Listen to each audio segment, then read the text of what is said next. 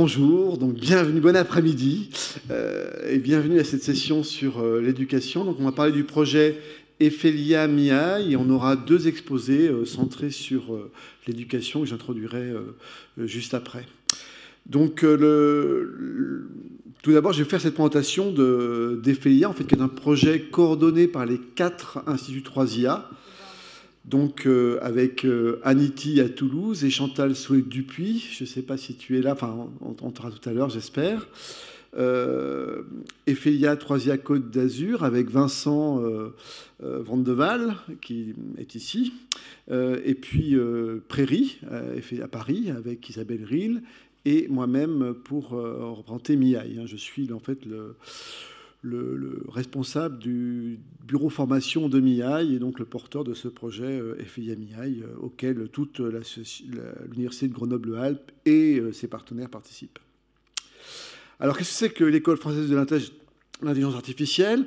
En fait, c'est un,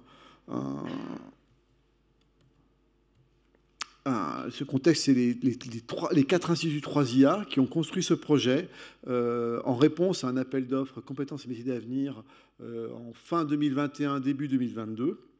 Euh, et donc ces quatre projets qui avaient des actions transversales de formation dès la création des instituts, même si la formation n'était pas centrale dans, les projets 3IA, il y a eu des actions qui ont été développées. Et, pour aller plus loin vers ces actions, ben, le, cet appel à, compétences euh, et, compétences et métiers d'avenir a permis de, pousser les choses, d'aller plus loin. Donc les quatre instituts sont répartis, vous les connaissez, à, Paris, à Grenoble avec Paris et Prairies, euh, MIAI à Grenoble, euh, à Toulouse et puis Troisia Côte d'Azur à Nice. Et ces quatre instituts ont développé la formation et on s'est rendu compte qu'on arrivait un peu à un plateau, qu'on était en termes de, progression d'effectifs. On a depuis la création en 2018, 2018, 2019 d'instituts, on a pu monter, euh, les quatre instituts ont monté. J'ai mis les chiffres ici que de Grenoble, mais c'est les, mêmes types de chiffres d'évolution qu'on a dans les autres instituts. Et on arrivait à des plateaux en termes de, population qu'on pouvait former, parce qu'on était dans un goulot où on n'avait plus suffisamment de, de force à mettre en présence.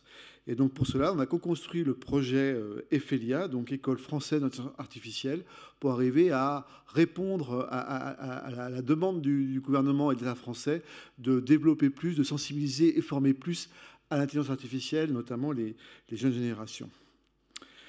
Donc, euh, à partir de l'expérience qu'on avait acquise dans, dans ces instituts, on a travaillé ensemble pour euh, essayer d'augmenter l'attractivité en clarifiant le paysage des formations autour de l'IA, et en ayant vraiment une, vision dès le départ euh, nationale, donc de ne pas centrer sur nos instituts, mais vraiment de penser à quelque chose de plus global pour pouvant servir à, l'ensemble de, la communauté et, du monde académique au moins national.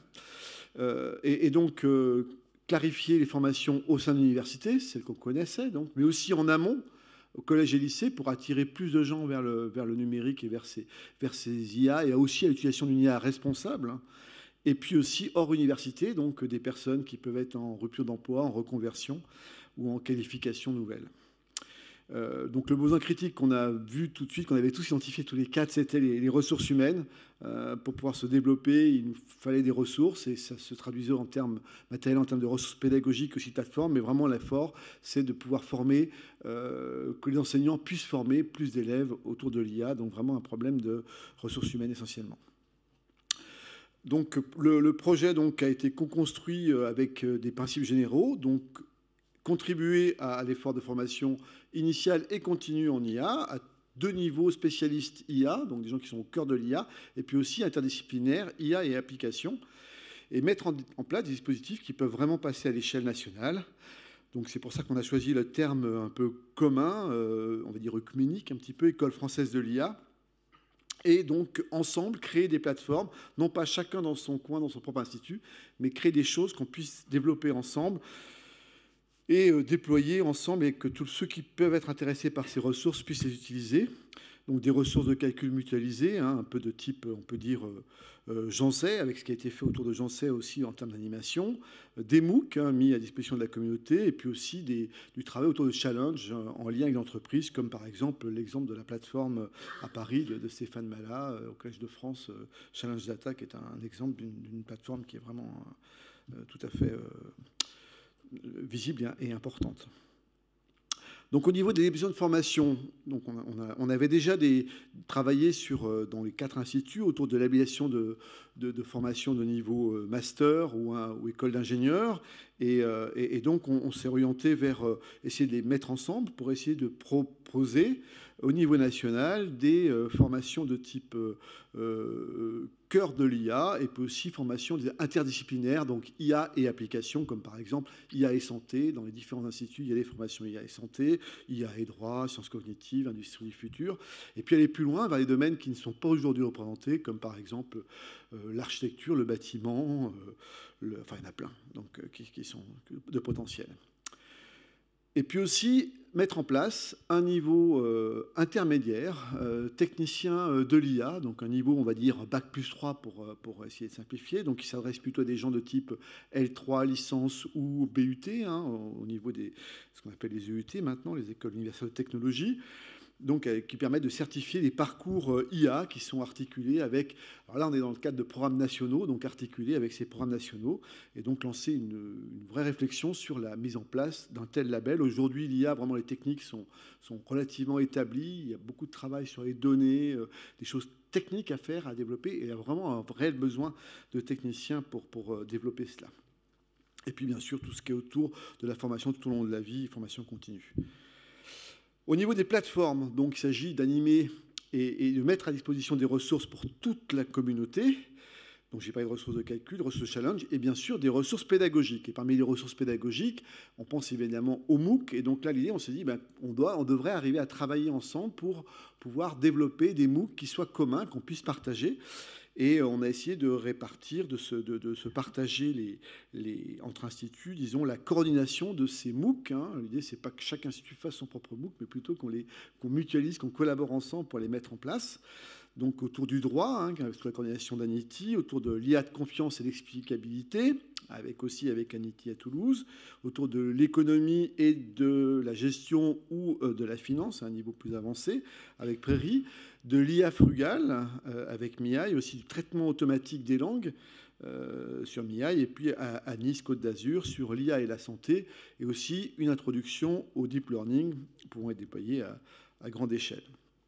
Alors ensuite, ben, chacun, on a développé nos propres projets, co-articulés autour de ces principes généraux, pour, pour construire cette, école française de l'IA. Alors maintenant, je propose de présenter un peu les quatre centres. Donc normalement, il devrait y avoir euh, Vincent pour euh, Nice, euh, Vincent Vandeval pour Nice, Isabelle Rie, La Prairie, et puis Chantal Soué-Dupuis à, à, Toulouse. Donc je commence par présenter MIAI. Donc MIAI, on a des partenaires explicites qui, sont vraiment partenaires du projet, qui sont l'Université Grenoble-Alpes et Grenoble-INP, donc la formation initiale université. Et on s'est aussi appuyé sur deux partenaires, le campus numérique INSI Alpes hein, pour la partie euh, euh, accompagnement des enseignants et aussi euh, le, CNA a, déjà des actions pour former des gens autour de la qui sont en, reprise d'emploi ou en reconversion et, donc aussi s'associer à eux sur ce retour à l'emploi. Et puis le campus des métiers des qualifications qui fait le lien avec les collèges et les lycées. Évidemment, c'est un enjeu central, c'est de pouvoir, euh, c'est le vivier, hein. le vivier il est parmi les collégiens et lycéens, donc arriver à être en relation avec eux euh, par l'intermédiaire du, du, campus des métiers des qualifications pour un travail de dissémination et de médiation. Alors ça, c'est plutôt centré sur la clinique Grenoble avec le CMQ, mais on vise aussi au-delà, bien sûr, au niveau national. Et puis, bien sûr, tous les partenaires de MIAI, les 90 partenaires, euh, certains complètement associés, d'autres, moins directement, mais, qui, participent aussi à ce, travail-là. Alors, des exemples d'actions en cours. Alors, j'ai juste zoomé sur quelques actions. Donc, de nouveaux parcours sont en cours de création. Euh, donc notamment autour des sports. Je parlais de, cursus un peu différents, ben, autour de la pratique sportive euh, et donc euh, l'utilisation de données multidimensionnelles sur les, sur les, performances sportives d'un sportif ou d'une sportive de haut niveau.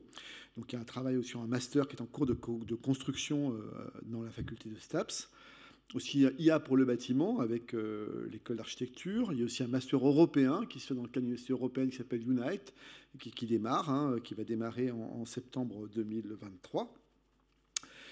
Euh, on a aussi une, un travail sur des challenges.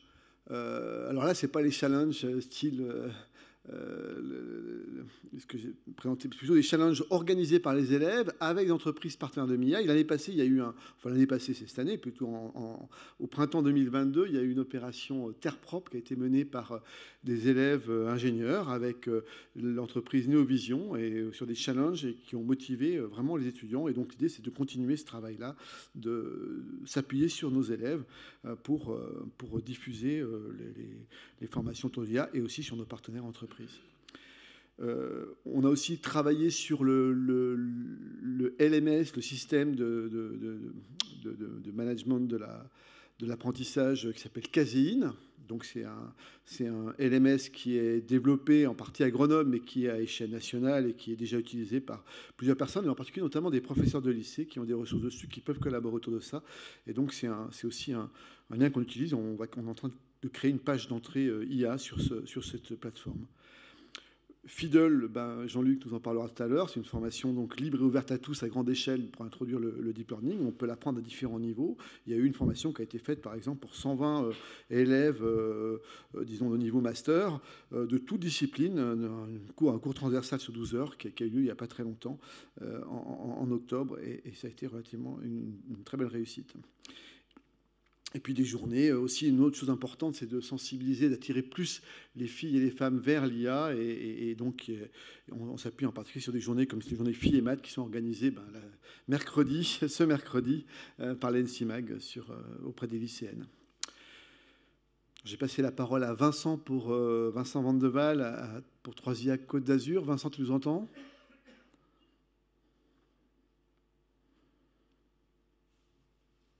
On te voit?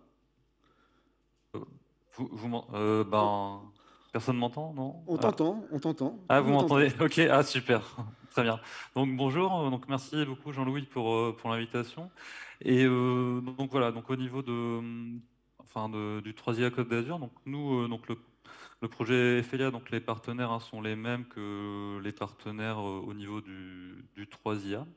Et donc voilà, donc le directeur du projet est Charles Bouveron qui est aussi directeur du 3IA. Et donc moi, donc, je suis directeur scientifique adjoint donc, euh, du projet avec euh, Lucille Sassatelli, qui est. Euh, donc, moi, je suis professeur en maths appli et Lucille Sassatelli en informatique. Et donc, voilà, donc, cette direction scientifique, elle s'est mise en place donc, début octobre. Et donc là, actuellement, on est en train justement de, voilà, on a lancé des recrutements en cours, donc euh, de chefs de projet, de junior philo et euh, d'ingénieurs pédagogiques. Et euh, ce, qu'on fait donc depuis notre prise de fonction, c'est aussi qu'on fait le tour finalement de tous les, de toutes les composantes de l'université voilà, pour bien identifier finalement les, besoins en IA et à quel, à quel niveau voilà, on peut être le, plus pertinent pour, pour apporter euh, voilà, des, modules en, IA. Donc on peut passer à, je ne sais pas si vous voyez mes slides ou pas. Non, on ne les voit pas. Moi je les ah. vois, mais je Ah d'accord, mince. pense okay. ça avec Ah très bien, ok. Euh, donc voilà, donc on, a un travail étroit avec la, vice-présidence de l'université en particulier. Et donc ben, nos objectifs, donc il y en a quatre principaux, donc renforcement et création de, modules en IA. Donc là, par exemple, euh, au niveau de l'Université Côte d'Azur, il y a déjà par exemple des mineurs d'introduction au machine learning et d'introduction au deep learning. Et donc euh, l'objectif, c'est de réfléchir à comment on peut adapter ces mineurs euh, de manière la plus adaptée en fonction du public, et aussi donc mettre en place des, mineurs d'acculturation à l'IA pour les non spécialistes. Voilà. Euh, mettre en place des nouveaux parcours, par exemple un parcours euh, IA et santé dans le master data science et, IA. Et voilà. Et donc il y a aussi un aspect important qui est aussi l'aspect aussi, par exemple, formation tout au long de la vie. On est en train d'essayer justement d'échanger avec les composants de l'université pour voir comment voilà, on peut euh, participer à cette formation. Et ça, ça peut avoir un impact aussi important au niveau même euh, ben, enfin de, des modules en IA dans les, dans les composantes, par exemple les composantes non spécialistes en IA, parce que voilà, enfin, pour les convaincre justement de, de l'utilité d'IA. Et donc il y a aussi deux volets qui sont la création de MOOC, mais justement là, il y a, une discussion actuellement pour voir voilà, comment mutualiser au mieux ces différentes ressources et euh, la création de plateformes et de contenus pédagogiques. Euh, voilà, je, pense que je vais laisser là. merci, merci ah, Vincent. On va passer à Prairie. Alors, je sais pas, Isabelle, je sais pas si tu as pu te connecter ou pas, finalement, Isabelle. Si, je suis là. Super, bah, on t'écoute. Alors, on voit les transparents. Est-ce qu'on peut, on peut voir les transparents qui sont exposés? On entend Isabelle, mais on voit pas les transparents. Donc, bonjour à tous. Euh, je les vois, les transparents. Ils sont sur ma machine. hein. Bah, ils sont sur la machine. Je sais pas. Il faut les mettre sur Zoom. Ah, je peux les mettre sur Zoom Je peux les partager? Bah, Isabelle, tu peux partager sur Zoom tes transparents Moi? Oula. Oui, ou... Euh, Attends, et moi je peux le faire, moi, ou pas?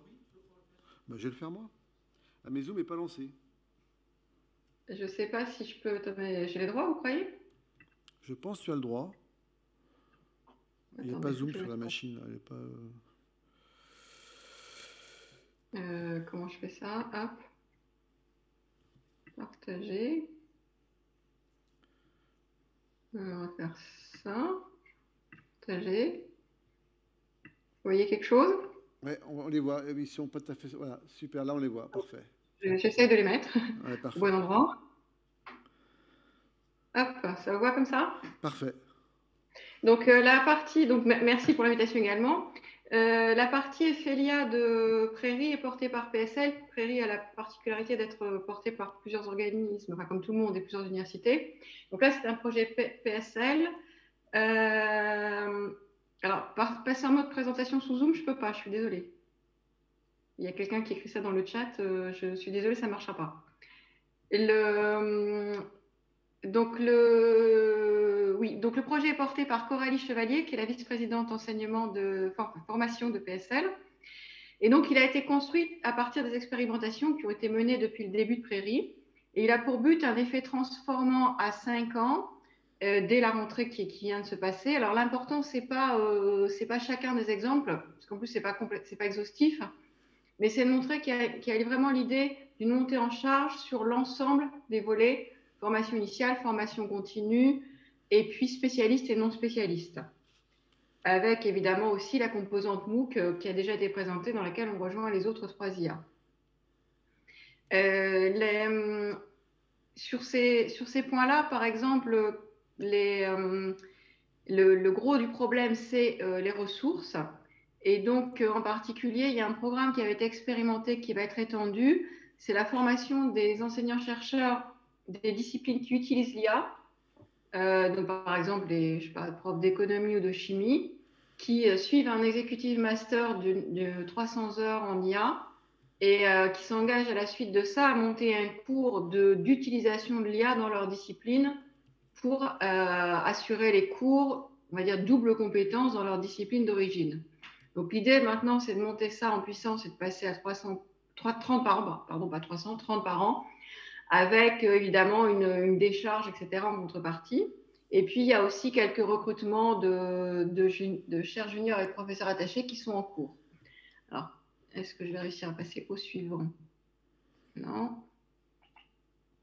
Super. Et donc, l'idée, c'est bien, comme je le disais, d'aller sur tous les fronts, avec euh, l'accroissement de la formation initiale, des masters spécialisés et de l'alternance, les cursus ingénieurs dans les écoles correspondantes, la formation continue, alors avec deux choses, à, il y a beaucoup de choses, mais deux choses que je voudrais vous faire remarquer, c'est euh, le master IASD, donc c'est intelligence artificielle et sciences des données, c'est l'un des deux masters phares euh, vraiment spécialistes qui a été passé en, formation continue, donc en version formation continue. Et puis une, une autre chose, une expérimentation qu'on a fait, qui est de proposer deux certificats ad hoc sur réponse, le premier de la Société des ingénieurs de l'automobile et l'autre pour la Société Générale, pour reformer des collaborateurs qui sont chefs de projet, spécialistes de leur métier, avec en général un diplôme Bac plus 5 et puis euh, 10 ou 15 ans d'entreprise. Il y en avait qui avaient un peu moins, il y en avait qui avaient beaucoup plus d'ancienneté, et qui donc suivent une formation assez lourde euh, pour ac- acquérir là aussi cette, espèce de double compétence, alors pas pour être euh, des spécialistes d'IA, mais pour être capable d'intégrer dans leurs équipes aujourd'hui eh bien, des gens qui vont être recrutés avec des profils euh, data scientist ou, autres, selon les métiers. Euh, ensuite, un programme qui, qui marche déjà bien, c'est ce qui s'appelle le programme transverse pour les formations graduées. C'est la possibilité pour toutes les formations de PSL, en fonction de leur discipline, d'assister à des, semaines intensives. Donc, il y a machine learning et physique statistique, machine, IA et humanité, machine learning et biologie, etc. Donc, tous les étudiants de PSL d'un domaine donné sont libérés pendant une semaine et peuvent assister à ces cours s'ils le souhaitent. Il y a un certain nombre d'autres choses qui ont déjà été mentionnées. Et je terminerai par quelque chose qui est très prometteur, même si ça ne fait que commencer. La double licence intelligence artificielle et sciences des organisations qui a ouvert aujourd'hui avec 30, cette année avec 30 places. Euh, il y a eu plus de 1200 candidatures. Et ce qui est intéressant à noter, c'est qu'il y avait parité des candidatures et dans le recrutement, ce qui est assez euh, rare dans nos domaines pour le citer.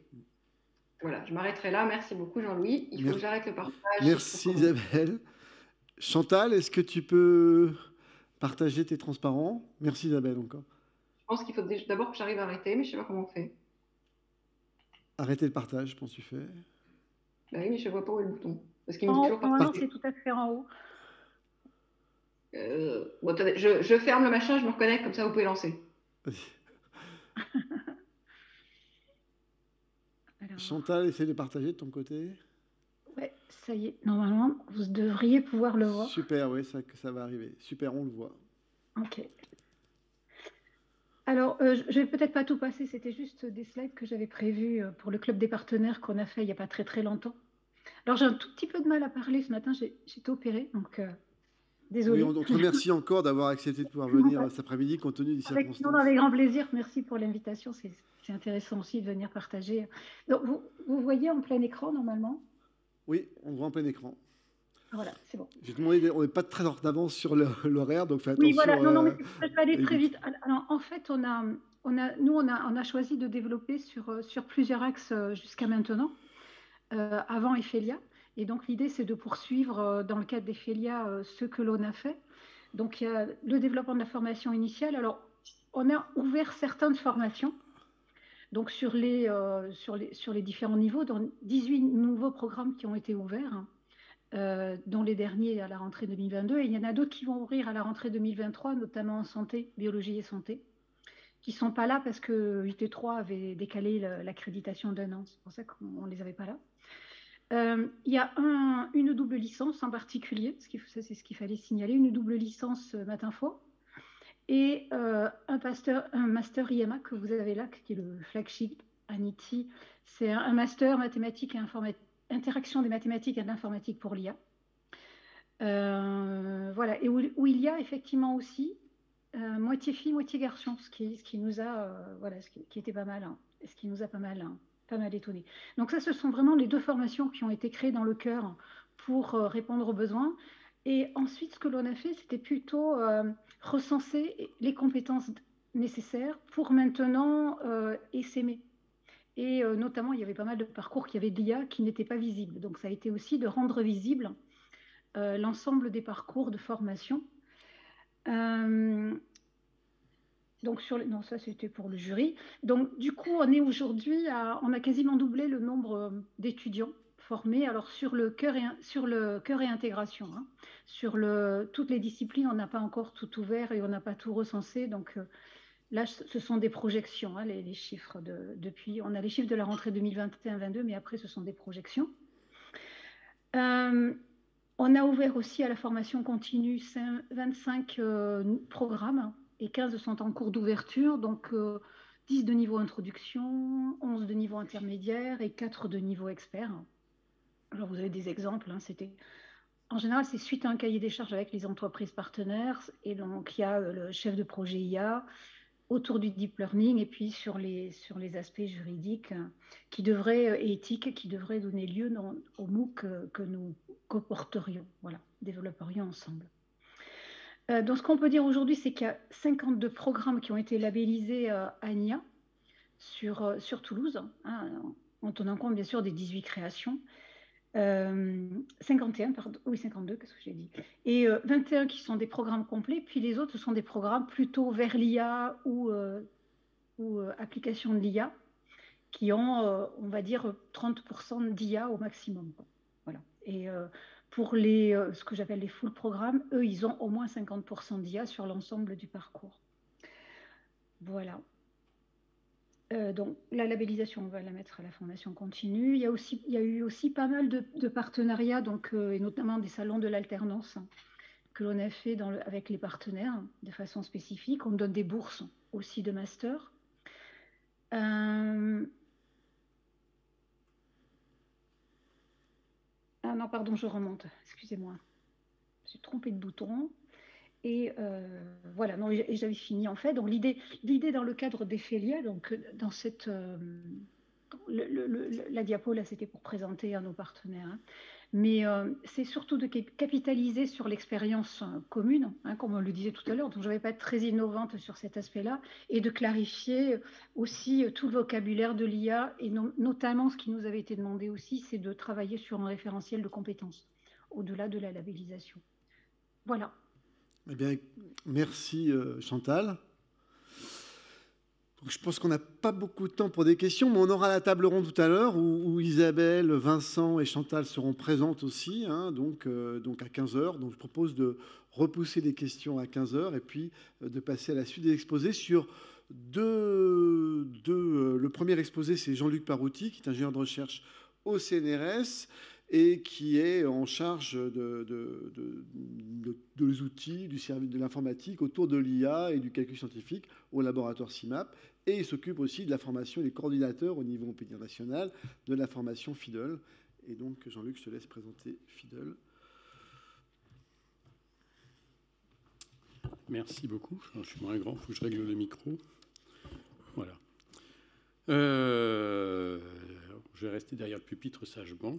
Euh, alors voilà, donc je vais vous faire un petit retour d'expérience sur euh, une formation euh, donc à grande échelle. Après, on peut toujours trouver des échelles plus grandes, mais par rapport à nos dispositifs habituels, c'était un peu plus grand. alors, je vais commencer par faire quelques remerciements. tout d'abord, remercier mes petits. Alors, l'ordre des logos est totalement subjectif. tout le monde a participé. Donc, le CNRS, par le biais de la mission pour les initiatives transverses et interdisciplinaires.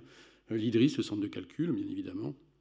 Et puis ma délégation, euh, par le biais de la formation permanente et du, CRIC, qui, nous a soutenus. Le MIAI, donc euh, bah, merci beaucoup à Eric et à Manuel pour tout le support. Le projet FEIA, bah, merci à Jean-Louis pour tout ce que. Bah, voilà, la mise en œuvre de, ce projet, de ce beau projet. Euh, mes petits camarades de mon laboratoire, mon directeur, et puis bon, évidemment, tous ceux qui font partie de l'équipe Fidel, je reviendrai dessus, qui ont fait que cette formation ait pu avoir lieu. Au total, comme ça, mine de rien, euh, ça représente beaucoup de monde pour réussir à, mettre un petit peu en, équation ce genre de choses. Voilà, euh, un focus autour de trois aspects. Un aspect de contexte, euh, comment on en est arrivé à mettre ce, projet en place, la manière dont il fonctionne, un petit peu le modèle, le modèle d'organisation, et puis un petit peu les retours qu'on a eus derrière par rapport à ces deux premières éditions que l'on a. On attaque la troisième.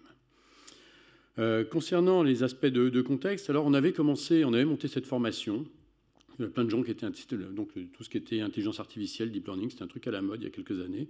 Ça l'est toujours d'ailleurs, mais en plus à, raison.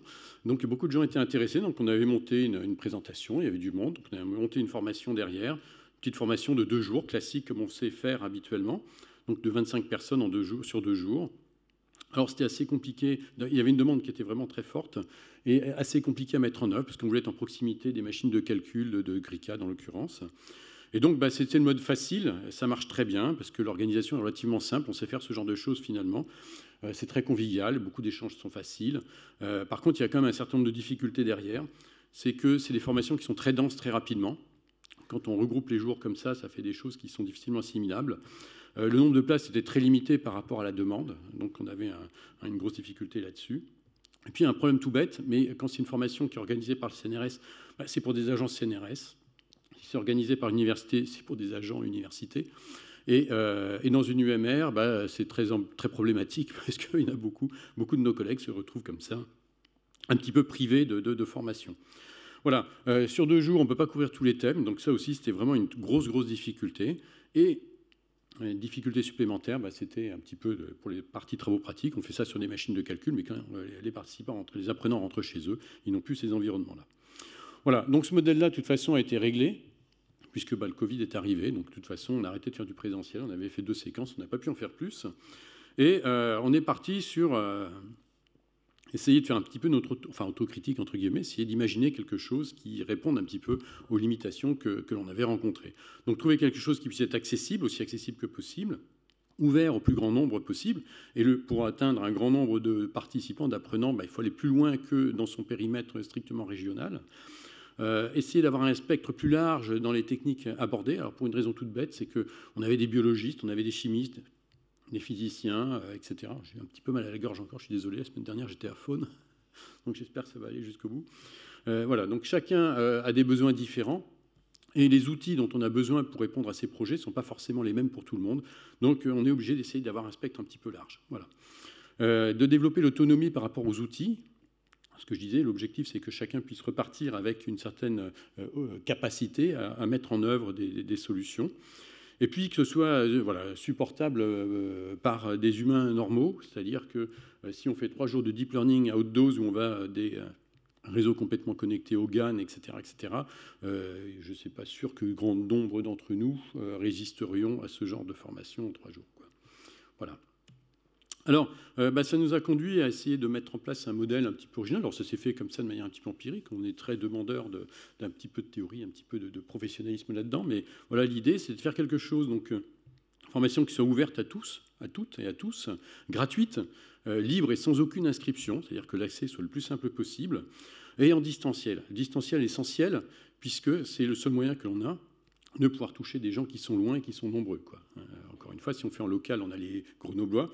Euh, mais euh, voilà, il y a beaucoup de gens en dehors de Grenoble qui sont intéressés. En distanciel, et puis avec des outils classiques de type Zoom et YouTube, euh, les outils que tout le monde utilise. Donc pour ça, ben, on a regardé comment faisaient les streamers, hein, tout simplement. Voilà. Un deuxième point, c'était de faire des séquences courtes pour avoir quelque chose de digérable. des séquences courtes de 2 heures, 3 heures maximum, échelonnées, de manière à ce qu'on ait le temps d'assimiler un petit peu, puis de jouer avec les travaux pratiques en dehors des séquences. Et ça, c'est possible euh, d'avoir un spectre large que parce qu'on a une équipe large, une équipe pédagogique large. Aujourd'hui, c'est une vingtaine de personnes au total, entre ceux qui mettent en place les, outils et ceux qui contribuent directement aux séquences. Euh, on, est, on est assez nombreux. Le troisième point euh, important, c'est de faire quelque chose de 100% accessible.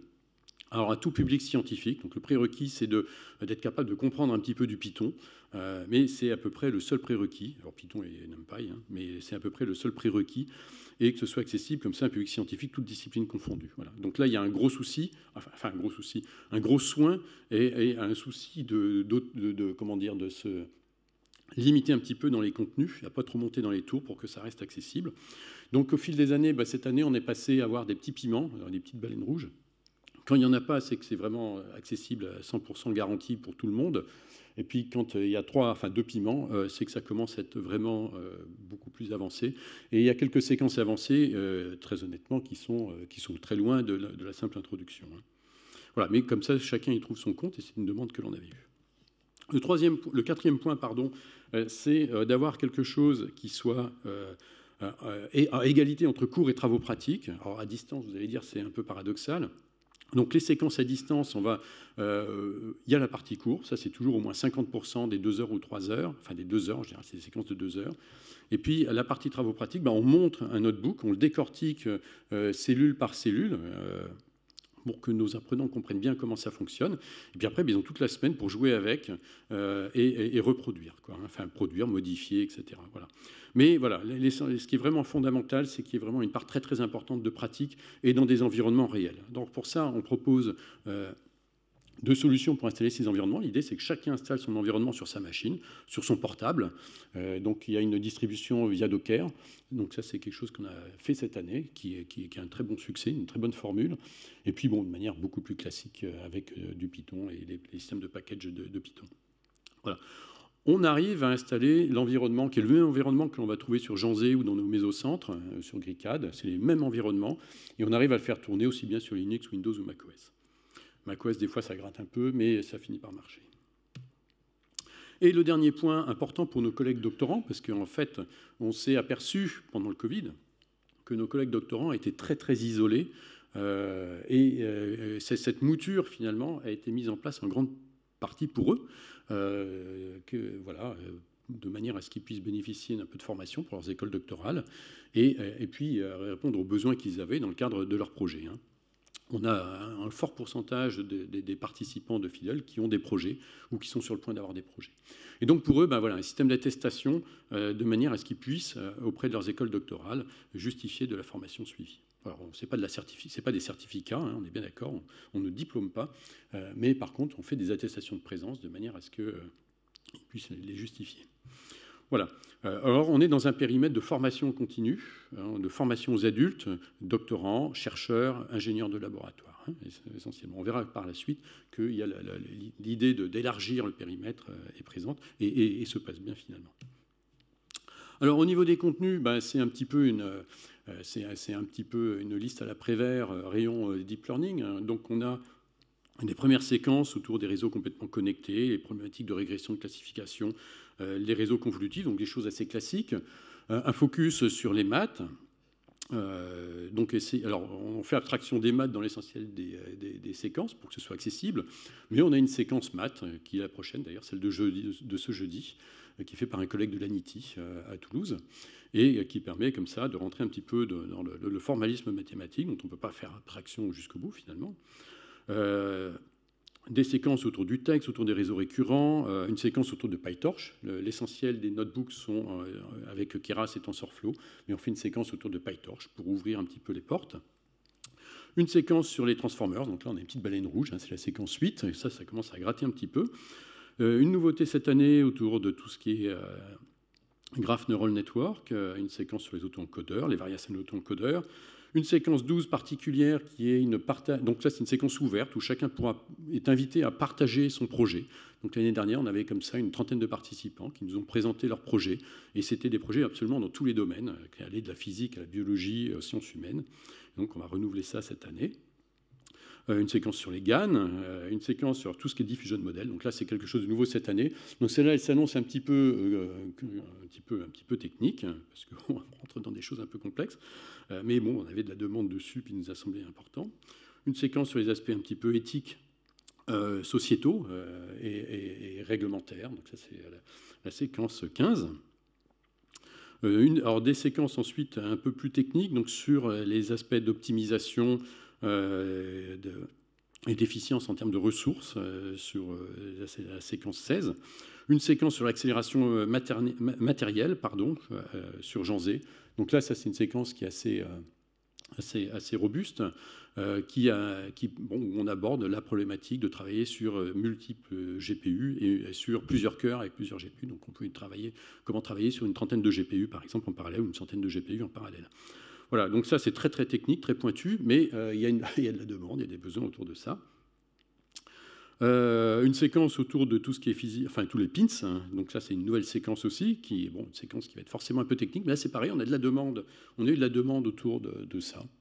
Donc on va essayer de faire un ticket d'entrée euh, autour de ça, et puis évidemment autour de tout ce qui est euh, renforcement, enfin reinforcement learning, euh, où là effectivement, là, donc là on a un panorama de tout ce que l'apprentissage par renforcement en deux heures, trois heures, je pense qu'on va le faire en trois heures celle-là.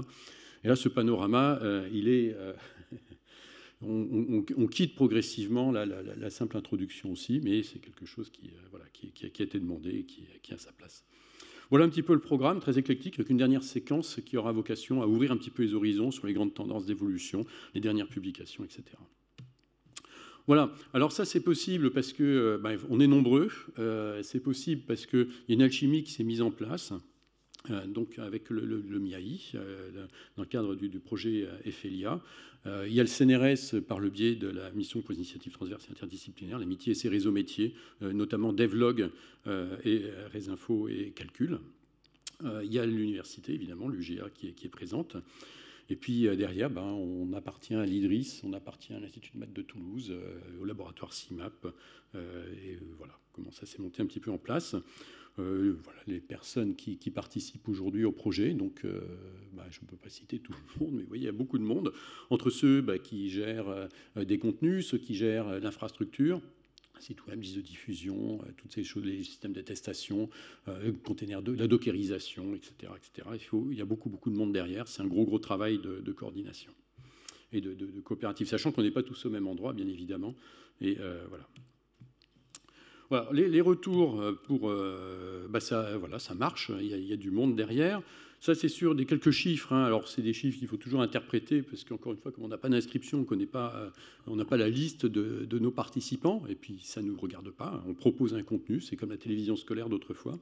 Euh, on n'est pas là pour savoir exactement qui est là, mais euh, on est là pour essayer de faire en sorte qu'un maximum de gens qui sont intéressés puissent participer et suivre.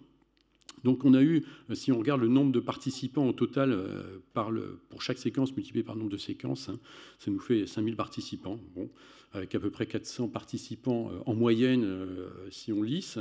Encore une fois, il y en a qui restent 10 minutes, d'autres qui restent jusqu'au bout, donc il voilà, faut être assez modeste sur, ces chiffres-là.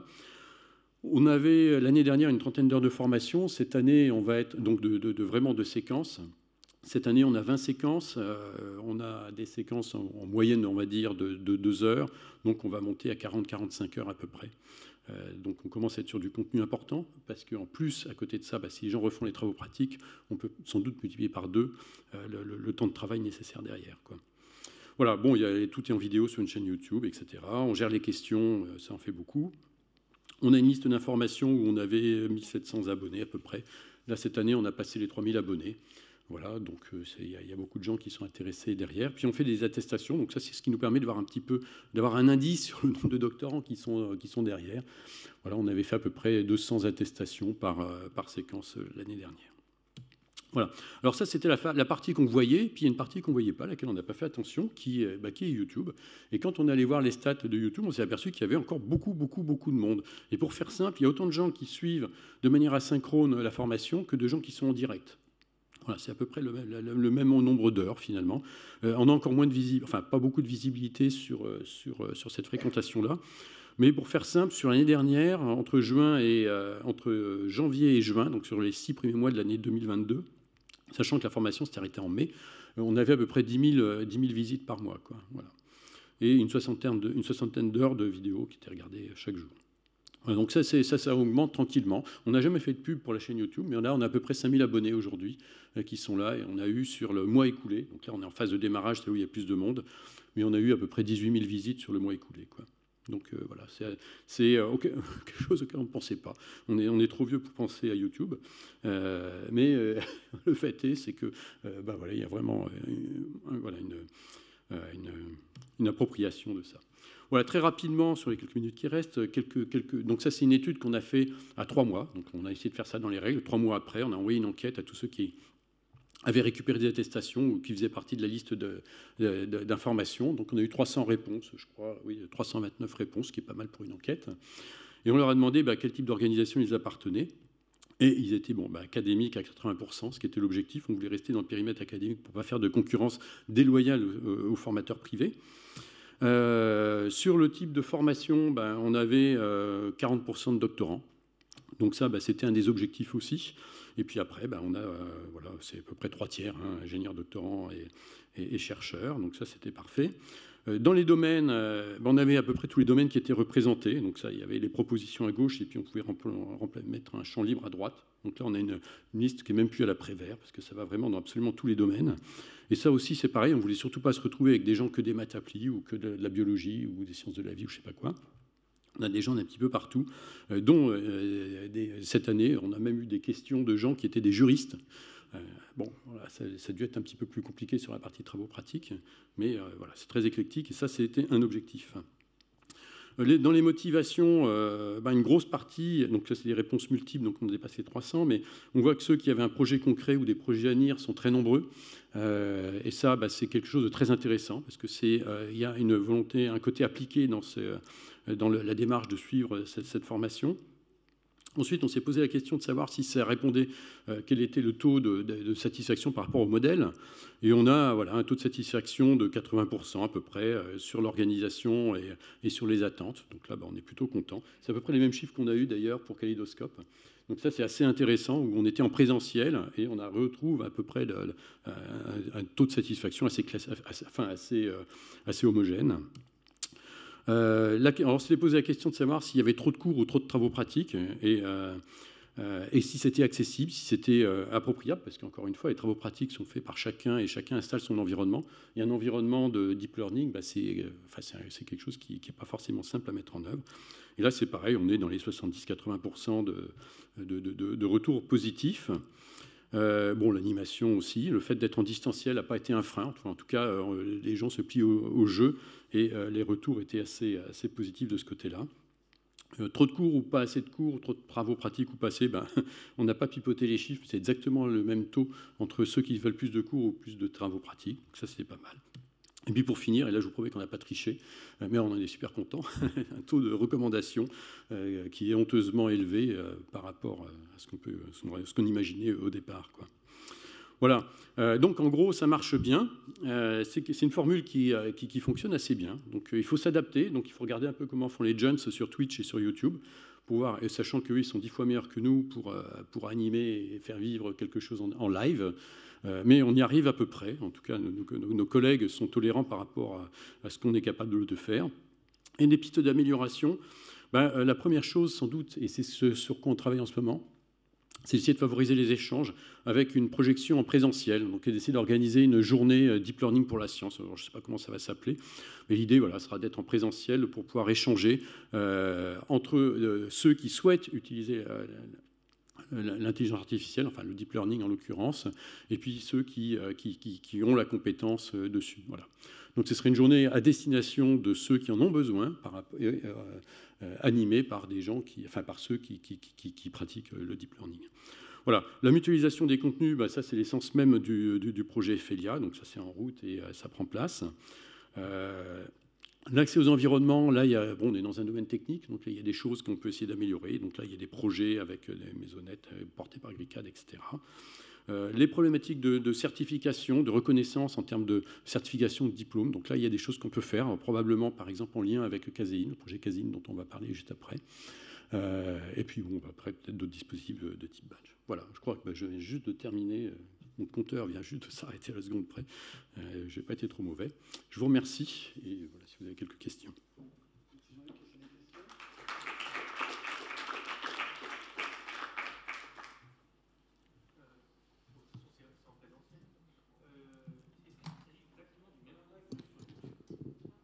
Ah, il faut un micro il est... Je mets les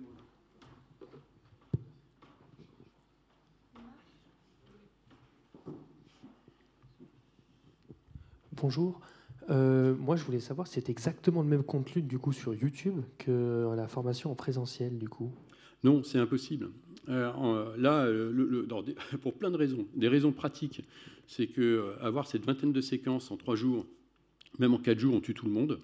Et il n'y a pas un seul formateur qui, serait capable de, couvrir tout ça. Là, on est 11, enfin plus de 12 à, à intervenir.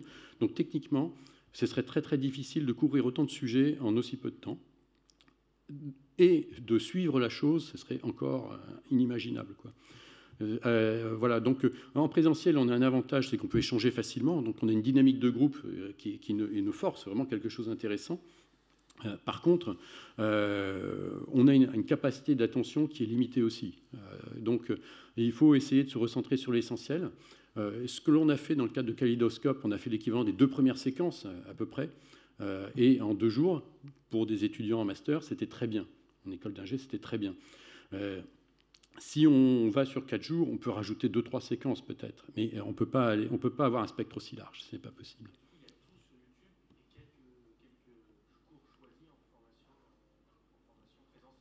Alors en, en, présentiel, on va faire au cas par cas, c'est-à-dire que euh, dans le cas de Kaleidoscope, donc là effectivement on avait 120 étudiants dans un amphi, issus de, toutes les écoles d'ingé de, de l'INP.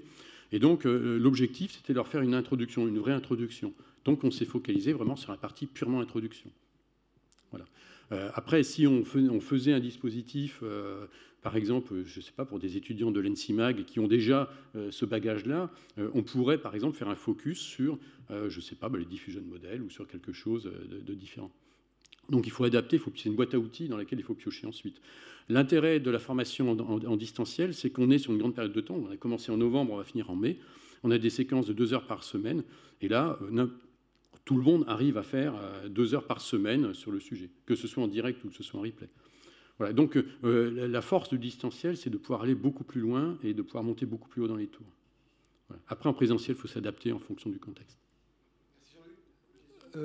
Oui, merci pour ta présentation. là, dans, tu nous détailles donc le, contenu de toutes les formations. Moi, je trouve que ça me stresse un petit peu. Il y a, un grand absent là-dedans. C'est un peu de tous les aspects, on va dire, RSE global. Tu me montres qu'il y a quelque chose qui porte sur les aspects juridiques et aussi les aspects un peu éthiques. Euh, ce que je voudrais savoir, c'est est-ce que les aspects, euh, entre guillemets, de... Euh, comment dire C'est pareil, là, quand tu présentes les accélérations sur, sur Jean Zay, finalement, il y a aussi d'autres méthodes d'accélérer qui enfin, qui pourraient être aussi abordées. Donc là, c'est quand même très, très, très particulier. Est-ce que les aspects de sobriété ou autres sont diffuses dans, existent dans ces formations que tu nous présentes d'une manière ou d'une autre? Et puis, euh, enfin, sur euh, l'évaluation complète de, cette formation, qui, donne des chiffres qui sont tout à, enfin, tout à fait remarquables, mais est-ce que vous quand même posez les questions? On sait bien que quand on répond à un sondage, les questions euh, induisent les, réponses aussi. Est-ce qu'il y a des questions sur, là, il y a un trou dans la raquette, par exemple, est-ce qu'il est y a des, choses qui manquent dans votre formation. Oui, oui. Alors, pour revenir sur ce dernier point, euh, je peux revenir sur le programme de cette année qui est, là. Euh, là, on a quatre nouvelles séquences qui sont arrivées cette année. Et euh, sur ces quatre séquences, c'est par rapport à des demandes que l'on a eues. Donc, quand on a fait l'enquête, il y avait des tas de questions ouvertes sur qu'est-ce que vous verriez en plus, en moins, qu'on pourrait changer, etc. Et donc, euh, euh, c'est comme ça qu'on a rajouté un certain nombre de thématiques qui n'étaient pas couvertes. Euh, sur cette année, et, l'année dernière déjà, hein, la, première saison, on avait 10 séquences, je pense. On est passé à 15, et là, on passe à 20. Voilà.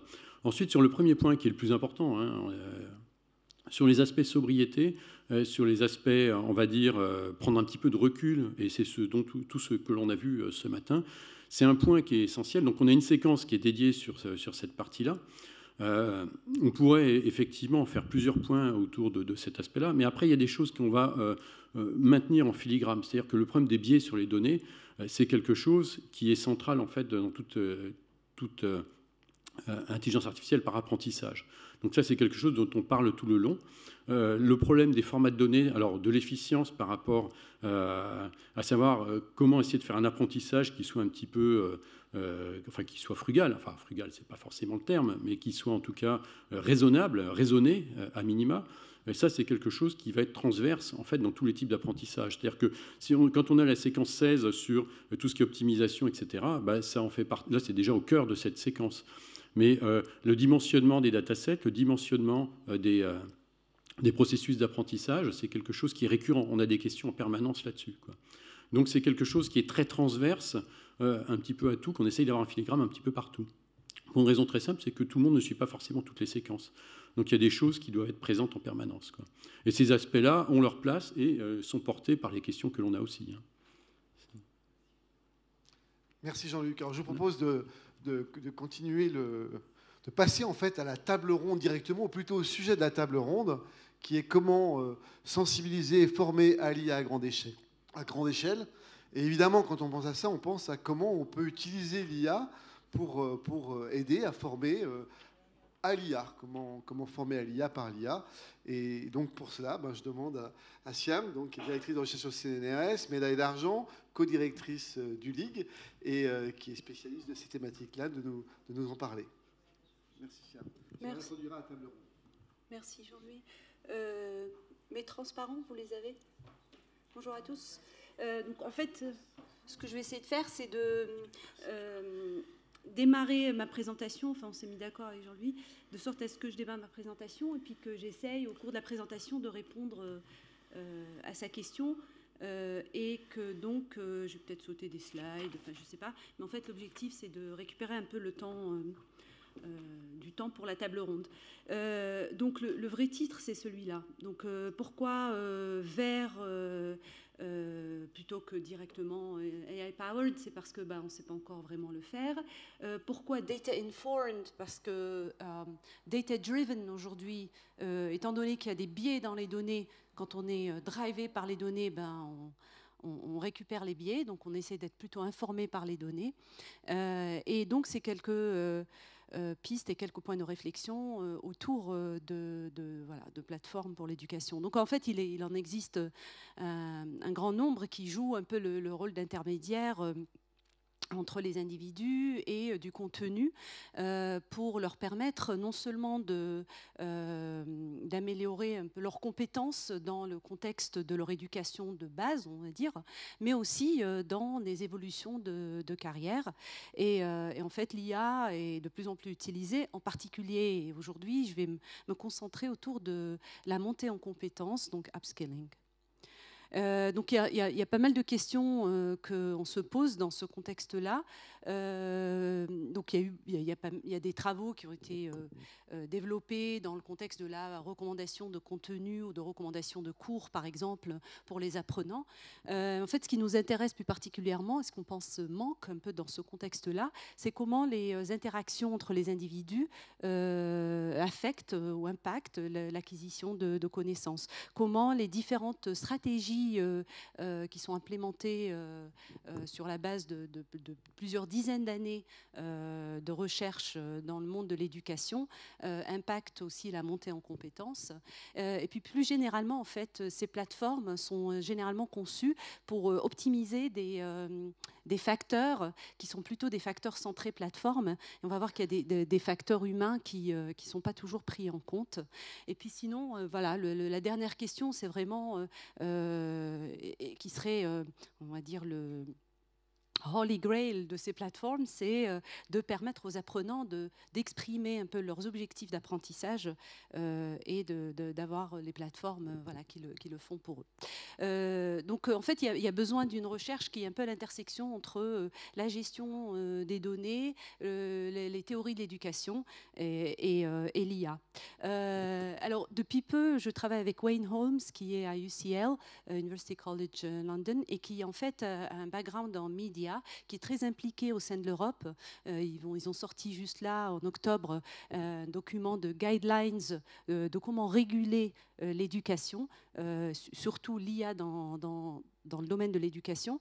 Et en réalité, personne ne sait vraiment. Donc il y a un grand point d'interrogation euh, au milieu de, ces trois grands cercles qui sont euh, l'éducation, les algorithmes et euh, le big data. Et on, sait comment appeler certaines de ces intersections, comme par exemple l'éthique des données utilisées dans l'IA, donc entre le, big data et les algorithmes, ou alors l'éthique de l'analytique dans l'éducation, qui est en, fait une intersection section entre le big data et l'éducation, euh, ou euh, enfin l'éthique de l'éducation et les algorithmes, c'est-à-dire qu'en fait l'utilisation des algorithmes dans le contexte de l'éducation, euh, mais aujourd'hui il n'existe pas vraiment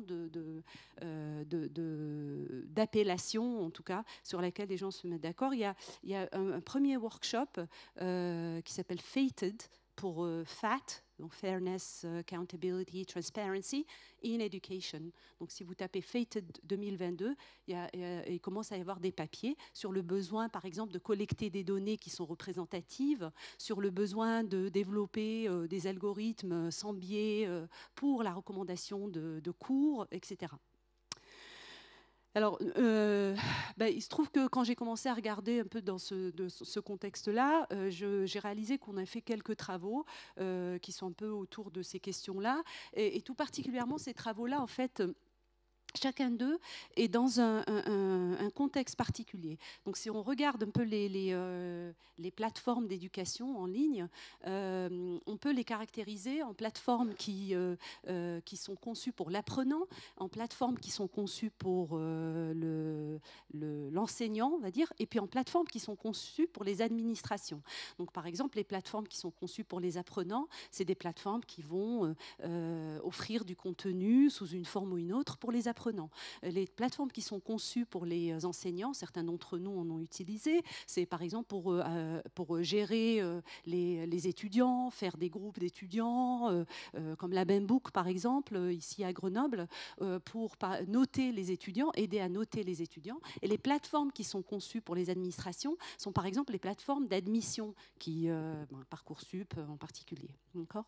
donc chacun de ces travaux-là, que je ne vais pas vraiment détaillé, beaucoup détaillé, et se place dans une de ces catégories-là.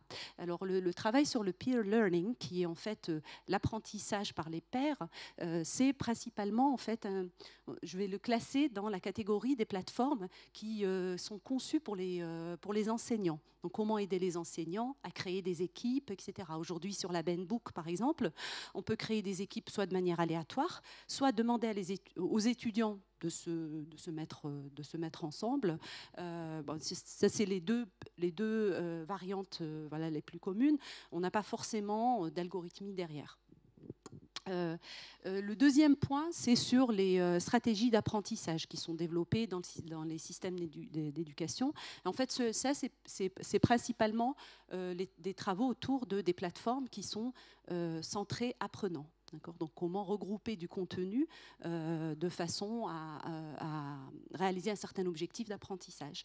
Et puis enfin, euh, le, dernier euh, travail, c'est plutôt un travail qui, est dédié aux administrations pour créer des, parcours de master, etc. Donc je vais les parcourir assez rapidement pour avoir un peu de temps pour répondre à, la question de, Jean-Louis. Donc pour ce qui est du peer learning, donc il y a plein de plateformes, masterclass en est en est une.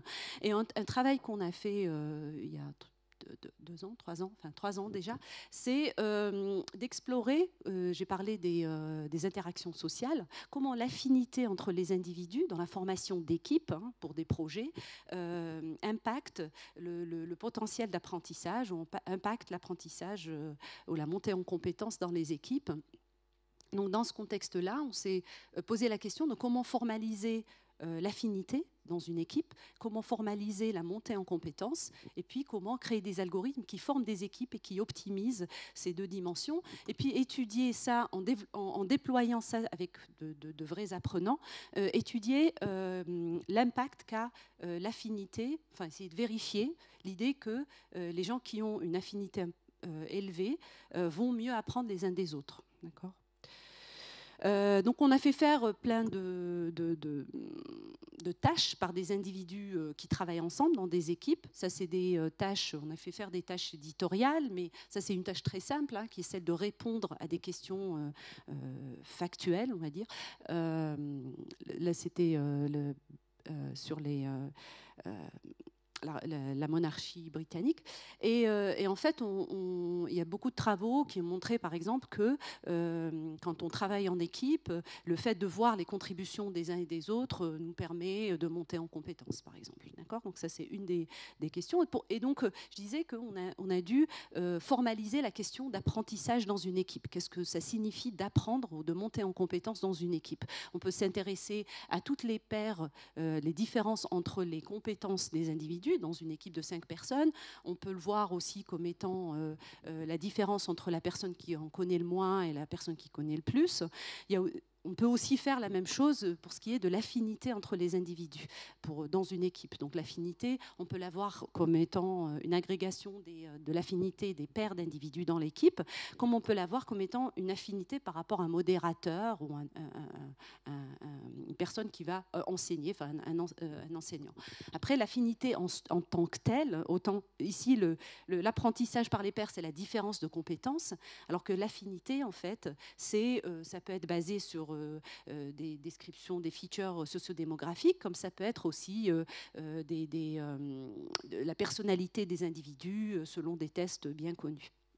Donc on pose en fait un problème d'optimisation, on va former des équipes sur la base de N individus, on va former des équipes qui vont justement, euh, telles que l'agrégation de l'affinité entre les équipes et le, potentiel d'apprentissage est optimisée. D'accord? Euh, je, voilà. Donc, euh, ce, problème, en fait, on arrive à, mieux le, formuler parce que euh, l'optimisation de l'apprentissage par les pairs, on peut le, le, résoudre en, temps polynomial. Et donc, on, transforme ça en un problème avec un seul objectif à optimiser. Donc, juste pour montrer que quand on a déployé justement notre solution, c'est-à-dire qu'on va former des équipes qui sont basées simplement sur le potentiel d'apprentissage par les pairs, qui est l'histogramme rouge, versus former des équipes qui sont basées sur le potentiel d'apprentissage par les pairs, mais qui optimise également l'affinité entre les individus, on voit que les gens montent en compétences il, y a, plusieurs ordres de magnitude en termes de montée en compétences. Voilà, donc ça c'était sur le premier problème. Sur le second, c'est euh, le, problème de euh, composer du contenu et dans quel ordre de difficulté on veut composer du contenu euh, pour, encore une fois, la montée en compétences. je ne rentre pas dans le détail parce que je pense que je n'ai pas le temps. et puis le dernier, c'est comment automatiser la composition de parcours en master. Donc on a euh, euh, utilisé de, l'apprentissage par renforcement pour reproduire les parcours en, master. Ok, bon ça c'est voilà, vous aurez les détails euh, si vous voulez dans, les papiers. Mais voilà, donc, en fait ça, ça, me permet d'avoir une définition peut-être un peu plus précise qui est l'utilisation de données et d'algorithmes IA pour en fait développer des services d'éducation euh, et étudier leur impact sur les gens et sur les, plateformes. Mais je vais, je vais, euh, maintenant tenter de répondre à la question de Jean-Louis, qui, euh, qui, est la question de voilà l'apprentissage par l'IA, l'apprentissage de, l'IA ou d'autres choses par l'IA. Et en fait, c'est très récent que les gens se posent la question de comment développer ou comment étudier, comment développer des algorithmes, des, euh, euh, services d'éducation qui... Euh, qu'est-ce que l'éthique de l'IA dans l'éducation et, et, comment développer des algorithmes qui sont... qui, sont compatibles avec euh, l'IA. Et donc on a fait ce travail avec des, euh, euh, très récent avec des, collègues à l'université de Queensland en, Australie. comme j'ai dit au départ, on a tenté de caractériser les services qui sont des services qui sont pour l'apprenant, des services qui sont pour l'enseignant et des services qui sont pour les administrations. donc on, a regardé un peu ce qui se fait hein, en termes de, travaux de développement d'outils IA pour l'éducation. Euh, c'est un tout premier travail, avec également caractérisation des données euh, dans ces contextes-là Quelles sont les données qui sont utilisées par ces différents services et euh, quelles questions on pourrait se poser autour de, euh, du développement de ces, de ces services? Donc la réponse que j'aimerais apporter à la question de Jean-Louis, c'est que dans le développement de toute, toute cette mécanique, tous ces outils, toutes ces données, il faut se poser de manière transverse la question de l'éthique. Et alors la question de l'éthique, en fait, et ce sera mon dernier transparent, la question de l'éthique euh, dans les, outils IA pour l'éducation, en fait, elle reprend déjà la question de l'éthique dans l'IA, comme par exemple le premier point qui a à voir avec euh, euh, la protection des données des individus. Donc on se repose la question de quelles données et que et, donc c'est les données par exemple de description des étudiants, mais aussi des données d'apprentissage, hein, des logs d'apprentissage. Donc ça c'est une première euh, première question. Euh, la deuxième question qui est liée, hein, qui est en fait la question de euh, avec qui ces données sont partagées. au moment de la collecte de ces données-là, est-ce qu'il il faut faire des, des consent forms et ensuite avec qui ces données sont partagées, pendant combien de temps, où sont-elles stockées et, et euh, a-t-on le droit de retrait euh, sur ces plateformes? Donc ça, c'est les deux premières questions. Mais après, il y a des questions qui sont très spécifiques à, euh, l'IA dans l'éducation, c'est des questions qui ont à voir avec quel est justement l'objectif de ces outils-là qu'on développe. Est-ce que ce sont des objectifs qui, par exemple, qui vont aider l'apprenant à euh, passer les examens, réussir aux examens, ou est-ce que c'est des objectifs qui sont plus des objectifs de monter en compétences euh, personnalisés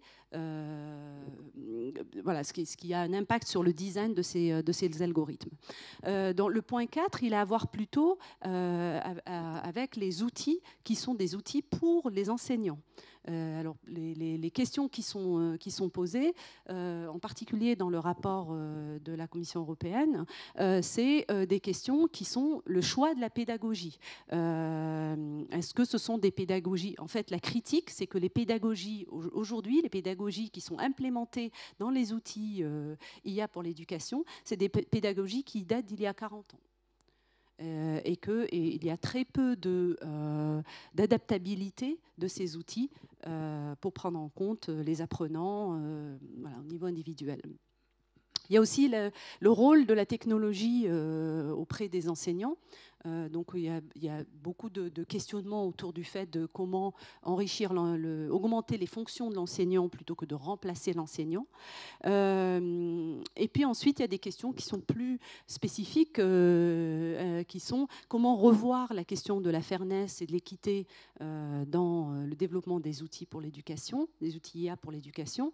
Et puis enfin, que signifie d'évaluer que signifie de faire des, training tests et des tests, des, des, euh, tests sets euh, dans, dans, ce contexte-là, sachant qu'on va euh, exposer les apprenants à des méthodologies différentes qui sont parfois sous-optimales.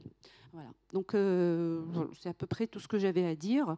et en particulier, ce rapport, donc j'ai inclus la, la référence, met énormément l'accent sur donc tout ce qui est protection de données et, euh, les consent forms euh, dans le développement de ces outils.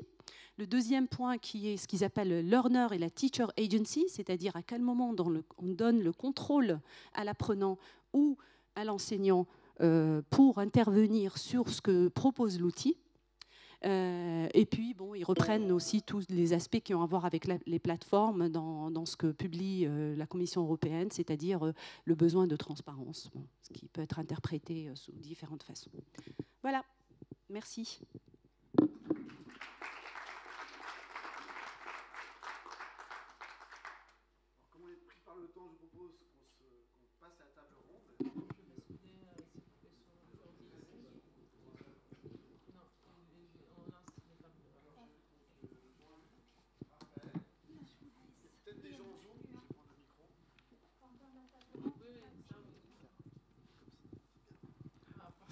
C'est bon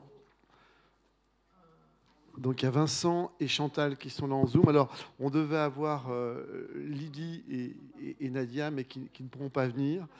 Et donc euh, je propose qu'on commence directement euh, sur la, partie. Donc on était vraiment sur ce passage à l'échelle. Donc tu, as, présenté vraiment tous les, le potentiel que peut apporter l'IA à l'enseignement, mais aussi toutes les interrogations liées à ça. Donc on a vu une expérience pratique avec, euh, avec Jean-Luc, hein, qui nous a montré donc nous a fidèle, qui est quelque chose qui est déjà à un certain niveau d'échelle, qui permet d'atteindre euh, pas mal de gens. Évidemment, on pense euh, au plus grand potentiel, c'est-à-dire les collégiens, les lycées, d'accord? Donc là, il y a une population qui est très grande, avec des enseignants qui sont en s'appuyant sur enseignants. Donc, qu'est-ce qu'on peut imaginer en termes de, suivi par rapport à ça pour, pour les, collèges et lycées? Siam, est-ce qu'il est qu'il y a déjà des expériences qui sont en place? Moi, je suis très biaisée parce que depuis peu, voilà, je m'intéresse à l'éthique de ces outils et euh, il y a beaucoup d'exemples, en particulier dans le rapport que je mentionnais là, euh, il y a beaucoup d'exemples d'outils qui ont été déployés et retirés. D'accord Parce que bon, voilà, c'est simplement par l'expérience qu'on réalise que peut-être que voilà, on n'a pas fait les choses comme il fallait.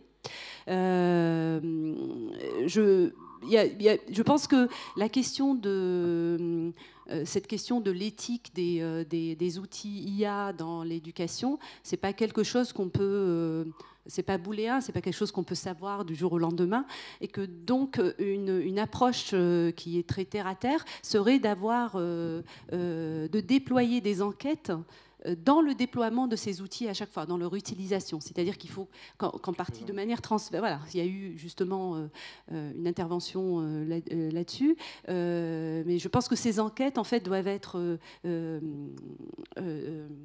créé, défini, avec des cibles euh, enfin, différentes selon les cibles. Euh, on, pourrait demander, euh, d'ailleurs, Wayne Holmes, qui est le premier auteur de ce document, il a fait une enquête auprès de la communauté scientifique mondiale pour, le, il a posé des questions de que, est-ce que vous pensez que, enfin, quelle est la définition de l'éthique des outils IA Est-ce que vous pensez que vous êtes éthique ou pas, etc. Et il en a fait un rapport. je pense que là, aujourd'hui, on est c'est vraiment le moment, puisqu'il y a, il y FLIA, etc., de euh, reprendre ces enquêtes et de les adapter euh, au sein des apprenants, euh, des enseignants, de l'administration qui utilisent des outils. et, en fait, pour pouvoir apprendre ensemble, en fait, avoir des retours d'expérience ensemble. Merci Siam. Effectivement, donc, euh, donc euh, faire l'articulation avec les enseignants, et en particulier quand on parle de, de collège, de lycée, euh, à l'échelle bah, nationale, dispersée géographiquement, on se pose la question, voilà, comment arriver à, les, accompagner? Et donc, Raphaël, oui? Ah, je suis trop loin. Et donc, Raphaël Leuillet, donc, du, campus numérique INSI Alpes, vous êtes en train de, monter de telles formations d'accompagnement des, enseignants de l'université, mais aussi du secondaire. Est-ce que vous pouvez nous donner quelques mots là-dessus?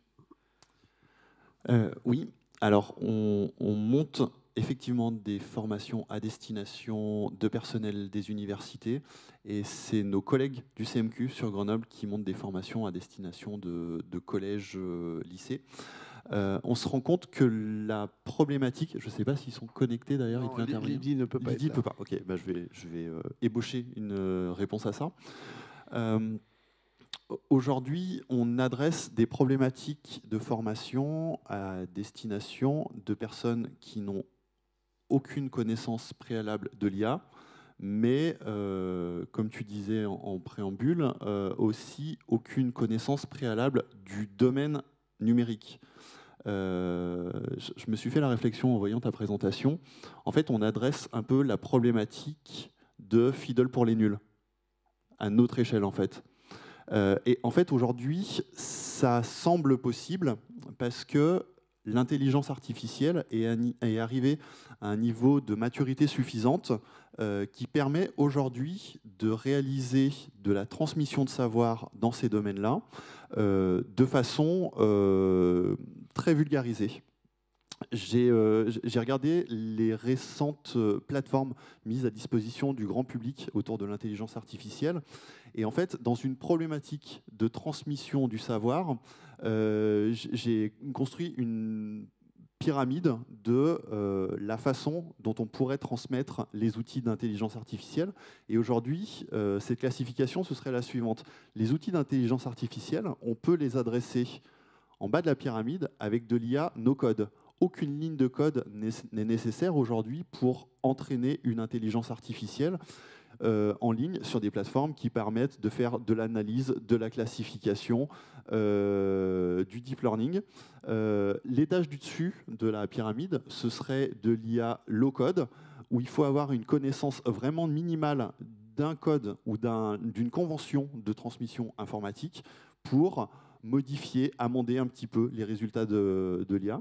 Et du coup, ces deux étages de la pyramide me semblent très adaptés en fait pour aller former à grande échelle euh, bah, des publics à l'intelligence artificielle, les sensibiliser à l'intelligence artificielle, mais euh, sans passer par euh, tous ces prérequis que peuvent être l'apprentissage du langage Python, qui est le prérequis principal aujourd'hui pour, pour Fiddle. Les deux étages supérieurs, je les laisserai plutôt à Caséine et à Fiddle. Euh, pour moi, c'est l'étage d'utilisation de l'intelligence artificielle et l'étage le, plus haut qui serait l'étage de développement d'intelligence artificielle, qui serait plutôt euh, l'étage euh, bah, des chercheurs en intelligence artificielle. D'accord. Et cette partie-là, comment arriver à, à, que chacun puisse faire un peu le, bilan de ses apprentissages, de, des compétences qu'il acquiert, euh, surtout à un niveau, disons, euh, généraliste, on dit euh, no code ou, low code.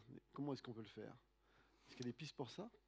Eh ben, alors on, est assez mauvais là-dessus. On se définit comme les artisans de, de la formation dans le numérique et en fait, au campus numérique, on a cette euh, tradition de transmettre euh, à la manière artisanale, à la manière du compagnonnage, en présentiel, avec systématiquement des personnes qui apprennent par un dialogue, par un, pardon, par un discours. Et, euh, et donc, ça a du mal à passer à l'échelle. Donc, je pense qu'on va se l'interdire encore pendant quelques temps. On va l'expérimenter et on n'est pas à l'abri que cette expérimentation autour euh, d'outils d'apprentissage no-code, euh, à échéance un an, un an et demi, deux ans, dans le cadre du projet Ephelia, eh ben, on les convertisse dans un, je vais répéter le mot, mais fiddle pour les nuls en fait. Vraiment réutiliser ces TP qu'on produira. À titre d'exemple, on travaille avec euh, l'école d'architecture sur des intelligences artificielles de génération automatique de bâtiments à partir d'un certain nombre de, à partir d'un certain nombre de, contraintes d'urbanisme ou d'architecture. Euh, aujourd'hui, c'est purement exploratoire, donc on le teste, on l'expérimente avec les pros du domaine, avec les profs de l'école d'architecture. On va le mettre en place en présentiel avec leurs étudiants de L1 et L2 et on fera notre rétrospective et on agira de façon agile pour voir comment est-ce qu'on pourrait éventuellement passer à l'échelle, un peu comme vous avez fait avec Fiddle en fait. Et dans le cadre de Fiddle, alors donc, vous êtes passé à l'échelle, et pour cela, vous avez passé sur la partie, euh, on va dire, suivi individuel, puisque là, il s'agit plus de, de réponses à des questions, comme tu, l'as souligné. Est-ce qu'on peut aller plus loin vers, euh, vers un suivi individuel pour accrocher mieux les enseignants, et puis aussi élargir la formation, comme vous l'avez fait, avec des, formations introductives, plus introductives, avec un, public encore plus large? Alors, le, sujet est vaste. Et euh, la, question est, vraiment, c'est le fond du, projet Ephelia, hein, on est bien d'accord. Euh, le, facteur limite à, l'extensibilité d'une formation euh, quand elle est en ligne comme ça, c'est effectivement l'accompagnement individuel quelque part. C'est-à-dire qu'il y ait une personne, 100 personnes ou 10 000 personnes qui regardent sur YouTube, euh, finalement, ça ne va pas changer grand-chose. YouTube, on n'a plus de licence en plus. Enfin, il n'y a, pas de, limite.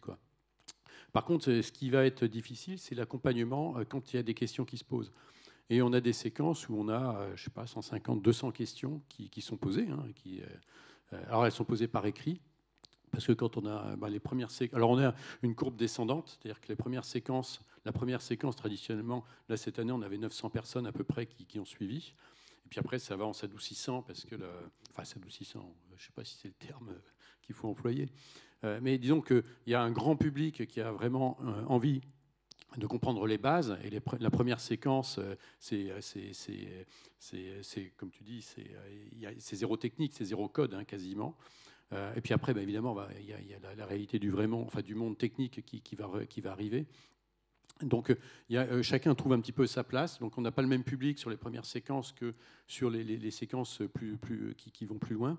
Et la difficulté de réponse, euh, elle se, perçoit par le, d'accompagnement par le nombre de questions qui arrivent. Quoi.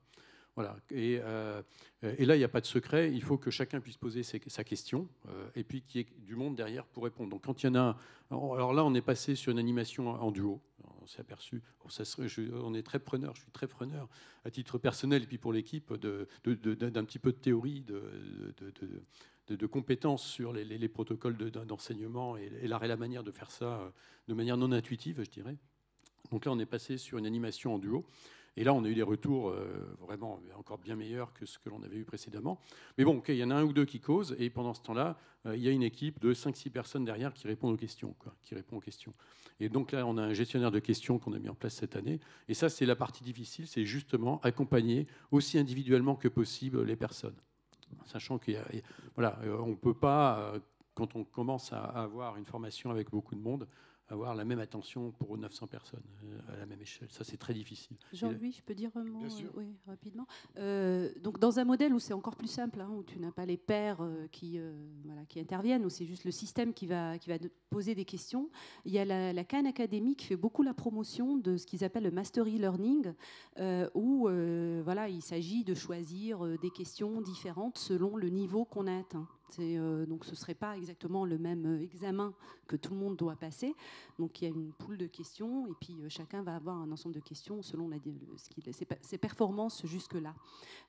et il semblerait, si j'ai bien compris, c'est très dépendant aussi de ce qui est enseigné. Il y a des choses qui sont décomposables. Enfin, les maths, c'est un peu plus décomposable que d'autres matières. Donc c'est aussi quelque chose qui peut s'appliquer dans certaines disciplines et pas d'autres donc des, examens, on voit des questions des, euh, individualisées pour chaque personne, choisissant ses questions auxquelles il va en réalité, c'est un ensemble de questions prédéfinies, mais après, c'est le choix des questions son, qui dépend. ensemble spécifique. le, choix des questions est très complexe. L'intérêt de l'animation en duo, c'est qu'il bon, y en a un qui cause et puis l'autre qui fait le, le candide à côté, donc euh, qui essaye comme ça de, déminer les questions qui vont être posées sinon. Ça, ça marche très bien, c'est un premier niveau. Ensuite, il y a les questions qui sont posées, et donc une équipe qui gère les questions, qui va reprendre un certain nombre de questions type euh, en direct, euh, donc là qui vont être répondues publiquement. Et puis il y a le troisième niveau de questions qui sont répondues offline. à froid derrière. Et, là, c'est voilà. Et, cette alchimie-là est très complexe, très très complexe parce que On s'aperçoit qu'en fonction des communautés d'apprenants, on n'a pas forcément les mêmes types de questions, les mêmes types de, de difficultés. les questions qu'on avait à Kaleidoscope n'étaient pas forcément les mêmes, enfin, sont pas, non, clairement pas les mêmes que celles que l'on a quand on a un public d'adultes, etc. Et, et l'hétérogénéité des publics est quelque chose qui est difficile à gérer, typiquement. Oui, et puis, euh, puis la question de, l'équité par rapport aux, personnes impliquées. Euh, Complètement, ça, et ça, c'est une des difficultés que l'on a, c'est qu'on s'aperçoit, on n'a pas de frontières, et on s'aperçoit qu'on a des gens de tous les pays, finalement, enfin francophones, puisqu'on est, en mode francophone, euh, et, donc les prérequis des personnes qui suivent ne sont pas du tout les mêmes. Et, c'est évidemment quelqu'un qui vient alors, qui, fait du droit, par exemple, ne va pas avoir effectivement la même facilité pour faire du Python, a priori comme ça. Hein, euh, et donc, voilà, l'individualisation par communauté, par personne, euh, est quelque chose de très très complexe. Et là-dessus, il y a des choses à améliorer. Là-dessus, c'est des choses vraiment à creuser. Très bien, on va passer la parole aux, autres euh, représentants des, trois IA qui sont ici, des autres du projet Ephelia, des, quatre, des, trois autres sites euh, en dehors de Grenoble. Bon, Grenoble, on a mis un accent important sur la, partie, effectivement, avec, avec, notre partenaire Campus des métiers des qualifications, sur la partie euh, lycée et collège, et donc médiation auprès des, enseignants, développement de mallettes pédagogiques. Donc c'est un travail qui commence. Et, donc, euh, Raphaël, tu, l'as évoqué, c'est effectivement en, liaison avec aussi le, campus numérique initial. Donc, on espère beaucoup là-dessus, mais c'est vrai que ça soulève beaucoup d'interrogations. Et un gros point central, c'est comment être sûr que, on parlait de l'équité, comment être sûr que, tous les étudiants, on les, traite de manière euh, vraiment, euh, on n'écarte personne. C'est ça, c'est une, vraie question par rapport à ça. Et sans doute, la, possibilité d'avoir de l'interaction avec les élèves puisse eux-mêmes enfin, rentrer dedans en s'appuyant bien sûr sur les enseignants du secondaire des lycées. C'est vraiment un, levier important. Alors j'ai donné la parole, ben, euh, peut-être euh, ben, de la gauche, ça va dire Isabelle, euh, par rapport à l'écran, puisque je te, vois Isabelle. Donc au, au niveau des Félia que, quelles, quelles, sont les grandes pistes pour vraiment passer à cette grande échelle au niveau de la formation et de la sensibilisation à l'IA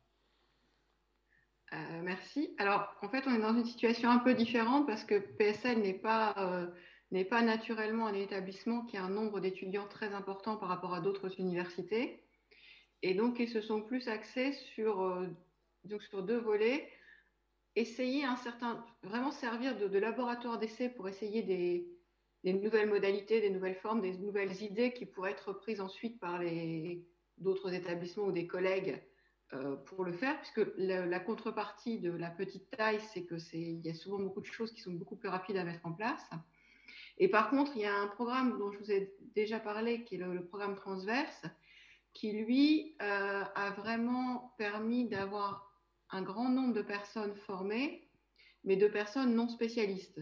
Ce sont ces fameuses semaines dont je vous ai parlé, qui sont, il y a une partie en présence et une partie qui se fait aussi à distance avec des, des, des cours à préparer en ligne avant et qui a permis qui a nécessité, alors peut-être aussi que c'est plus facile par la taille de l'établissement que j'ai déjà mentionné, vraiment d'organiser entre les différentes composantes de PSL un partage d'emploi du temps qui permet de libérer les étudiants d'un même domaine principal, je vous ai cité tout à l'heure physique, économie, etc., dans une, même semaine. Alors, il y a des astuces pour ça, hein, ce sont les débuts, de semaine, les, débuts de semestre, pardon, les fins de semestre, etc mais de manière à pouvoir vraiment leur donner euh, leur donner l'envie déjà euh, de, suivre une formation en IA parce qu'elle est adaptée à leur discipline. Et donc vraiment dans l'idée que euh, l'IA aujourd'hui, c'est aussi quelque chose qui est au service de toutes les sciences. Et par ailleurs, bah, de toucher un très grand nombre d'étudiants du coup, puisque toutes ces personnes qui n'avaient pas de, cursus, de cursus enfin qui n'avaient pas de cours d'IA dans leur cursus, se trouve dans la possibilité d'en avoir un. Donc ça, ça permet vraiment d'aller de manière horizontale vers beaucoup plus de gens touchés. Là, évidemment, on n'est euh, plus dans les populations euh, lycées et autres, hein, on est euh, vraiment à l'université. Et puis, de développer, de mettre en place quelque chose qui est un peu moins avancé par rapport au programme transverse, c'est le principe de mineur. Et donc de pouvoir proposer dans tous les parcours une mineure IA pour ceux qui le souhaitent, avec des ECTS associés, etc. Donc ce sont les, deux volets peut-être un peu originaux par rapport au reste des programmes FELIA que je connais, que je peux mettre en avant ici à titre d'exemple. Il, y a aussi une articulation, je crois que les classes préparatoires. Alors, il y a aussi, j'ai, euh, ça, je n'ai pas mentionné, c'est le. Il y, a un il y a quelque chose qui s'appelle le CPES. Euh, j'ai un trou de mémoire sur la signification du sigle. Euh, c'est pas très grave, ça va revenir. Qui est quelque chose qui a déjà été développé depuis quelques années dans Prairie. Excusez-moi, je cherche en même temps si je trouve, mais non. Euh, dans, PSL. Euh, donc, c'est un cycle de trois ans donc après le bac qui est fait avec les classes préparatoires. Donc, c'est quelque chose qui se situe entre, entre le système universitaire et le système classe préparatoire et qui marche plutôt bien, qui avait été développé avec Henri IV dès, le début de PSL. Et donc là, il y a, en, donc c'est pas encore ouvert, en 2023, va pour la rentrée 2023, va ouvrir un nouveau CPES qui s'appelle Sciences des données et dynamique culturelle, qui va vraiment intégrer euh, IA et SHS, avec comme, euh, comme cible 45 étudiants pour la première promo, puis après une montée en puissance, avec Louis Legrand et là, pour essayer aussi d'amener des étudiants vers des parcours beaucoup plus euh, pluridisciplinaires et imprégnés d'IA dès le début. Merci Isabelle. Et j'en profite aussi pour rebondir sur, le, sur ce, travail au niveau, on va dire, entre lycée, on va dire, et université. Là, tu parlais donc des, classes réparatoires. Il y a aussi une expérience qui, est menée depuis euh, quelques années, enfin pas très longtemps d'ailleurs, euh, dans, le cadre comme, euh, comme CPES, dans le cadre des nouveaux cursus universitaires, sur, autour des BTS. Et donc Grenoble et Toulouse en particulier sont, impliqués dessus. il y a un travail hein, qu'on démarre dans le cadre des FELIA, justement, de, sensibiliser plus les, les, élèves de BTS, qui sont une population importante en France, hein, environ 80 000 euh, élèves au niveau national euh, sur ces nouveaux métiers de l'IA qui, évidemment, euh, sont transversaux à, toutes les disciplines et, en particulier aux disciplines professionnelles dans lesquelles se, positionnent les BTS. Chantal, si, je peux te passer la parole. Oui, merci. Donc, nous, surtout, on va retrouver les mallettes numériques, hein, tout, ce qui est, tout ce qui était à destination des capsules vidéo sur les métiers.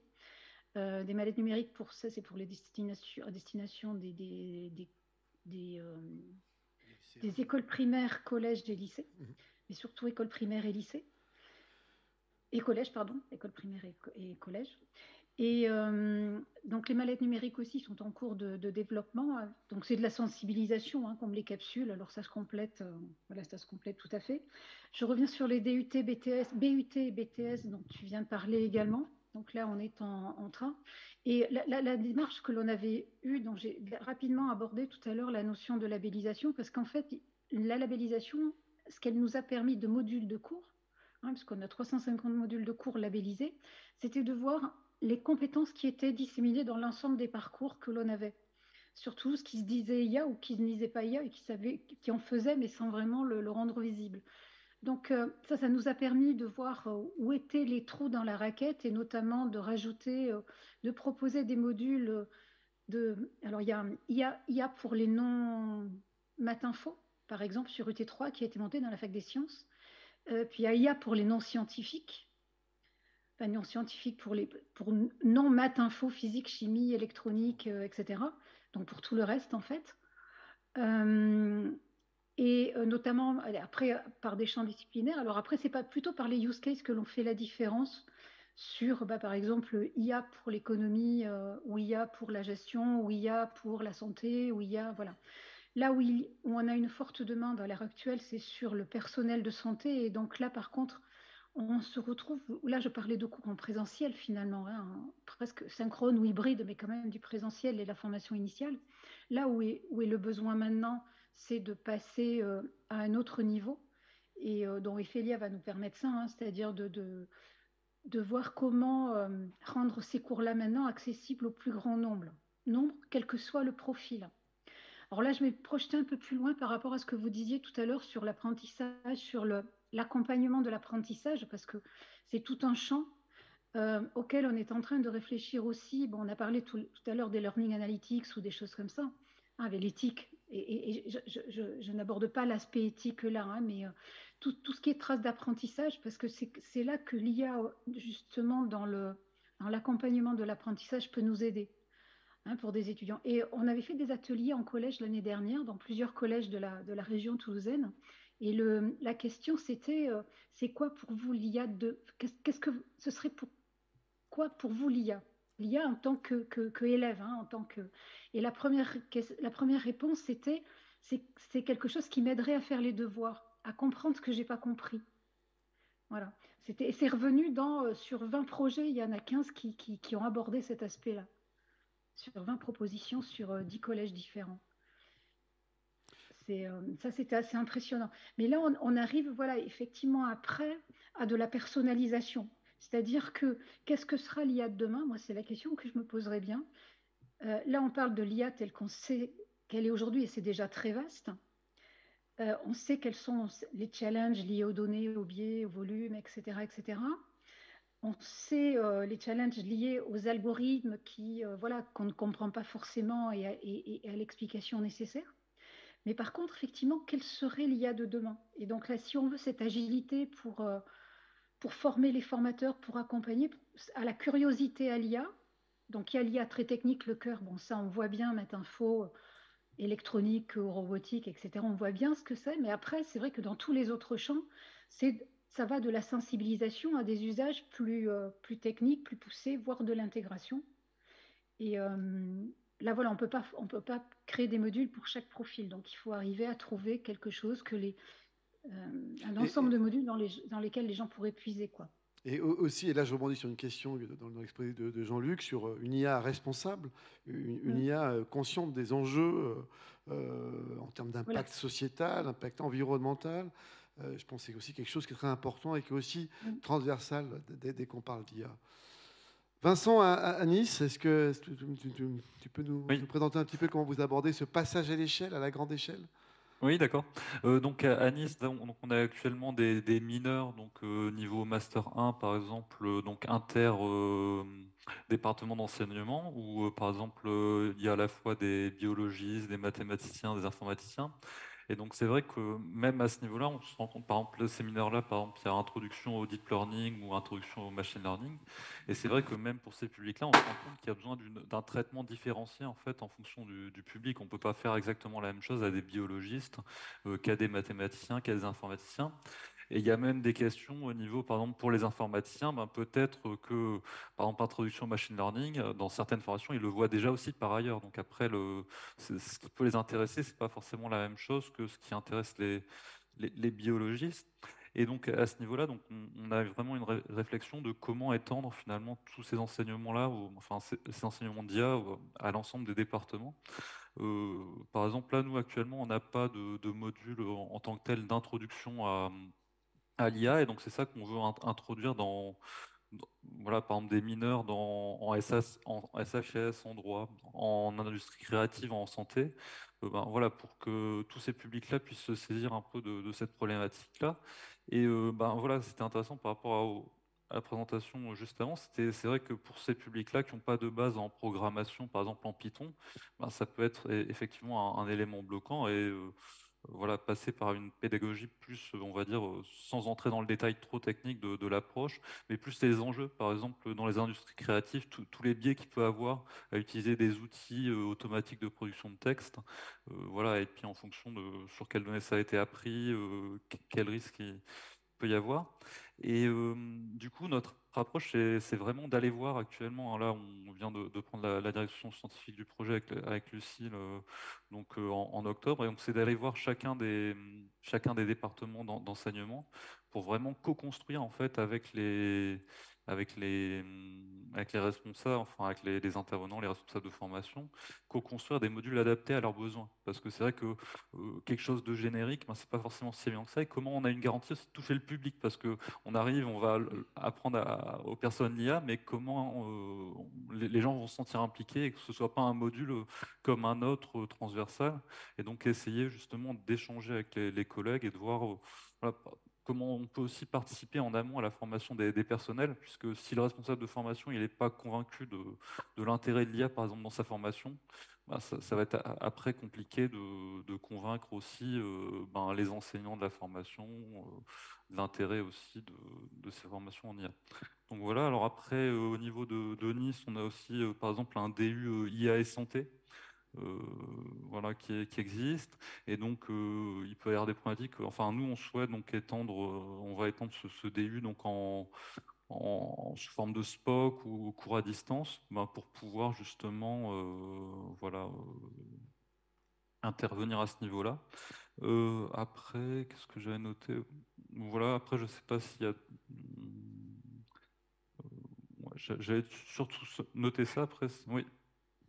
Très bien. Bah, écoute, merci Vincent. Donc on a, on a, vu à la fois des choses qui, sont, qui peuvent être euh, euh, proposées, on va dire, comme le fait Jean-Luc, de mm. manière libre, euh, chacun venant choisir un peu les, les, parties qu'il a, a envie de regarder, des choses plus suivies en accompagnement aux enseignants qui évidemment vont déployer et vont répondre bien sûr à leurs besoins selon leur domaine. On a vraiment un, panel de solutions différentes, des choses donc, mm. qui sont encore à développer.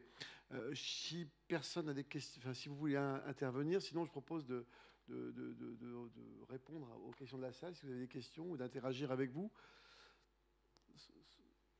Oui. On a, on a une question en régie de James Crowley. Vas-y. On va vous afficher le commentaire parce qu'il est assez long.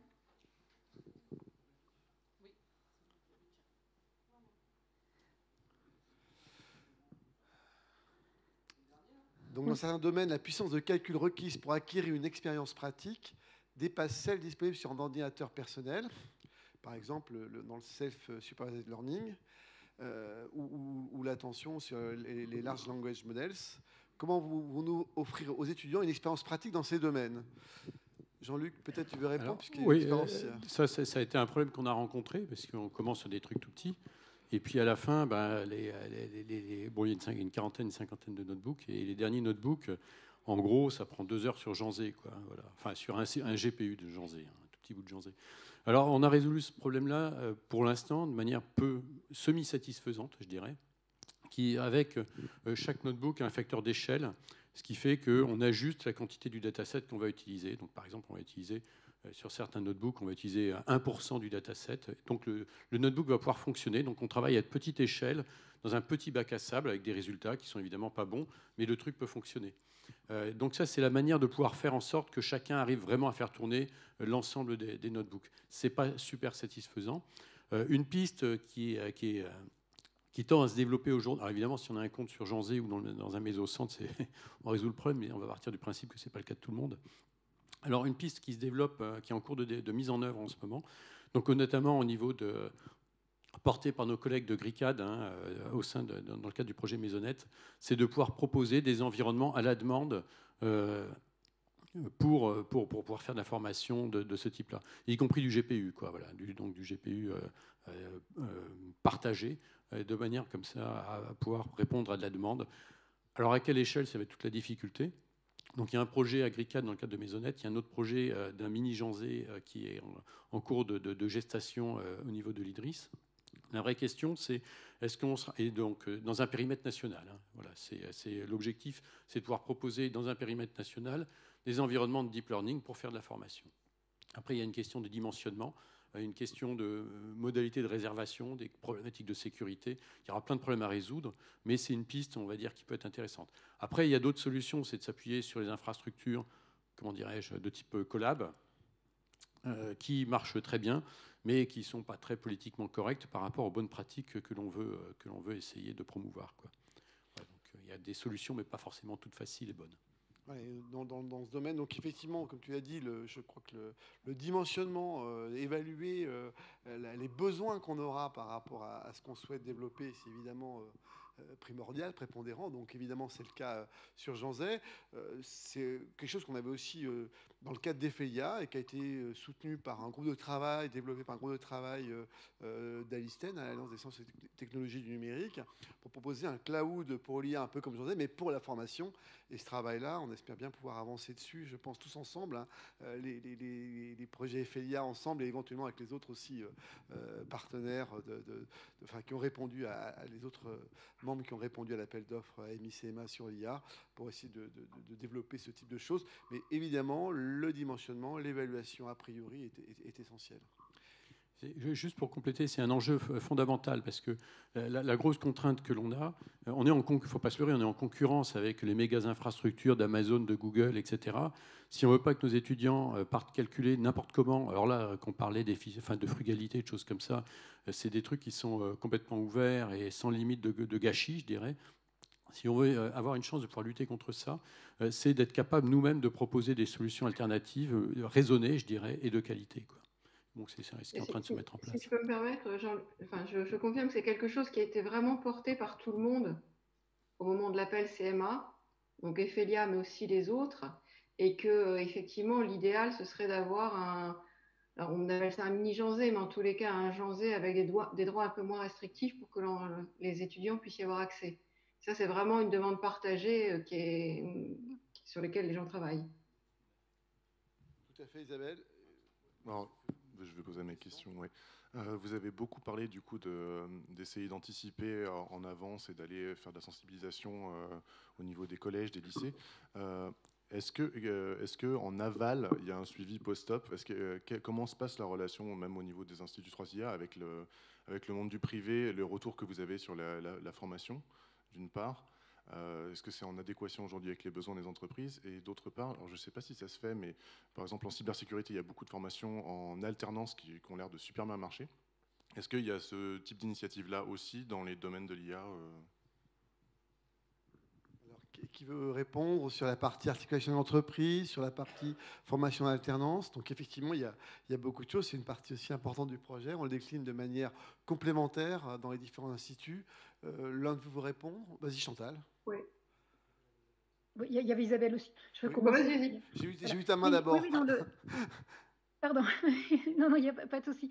Euh, oui, c'est complètement fait en partenariat avec les entreprises. Et si on regarde l'ensemble des formations, elles sont quasiment toutes, enfin sur Toulouse, elles sont quasiment toutes soit accessibles à l'alternance, c'est-à-dire moitié-moitié, soit contrat pro pour les écoles d'ingé. La plupart du temps, c'est quand même plutôt du contrat pro, et euh, soit complètement en alternance. Et euh, aujourd'hui, l'idée principale, c'est de travailler avec nos partenaires industriels qui font partie du comité stratégique et de regarder quelles sont les compétences.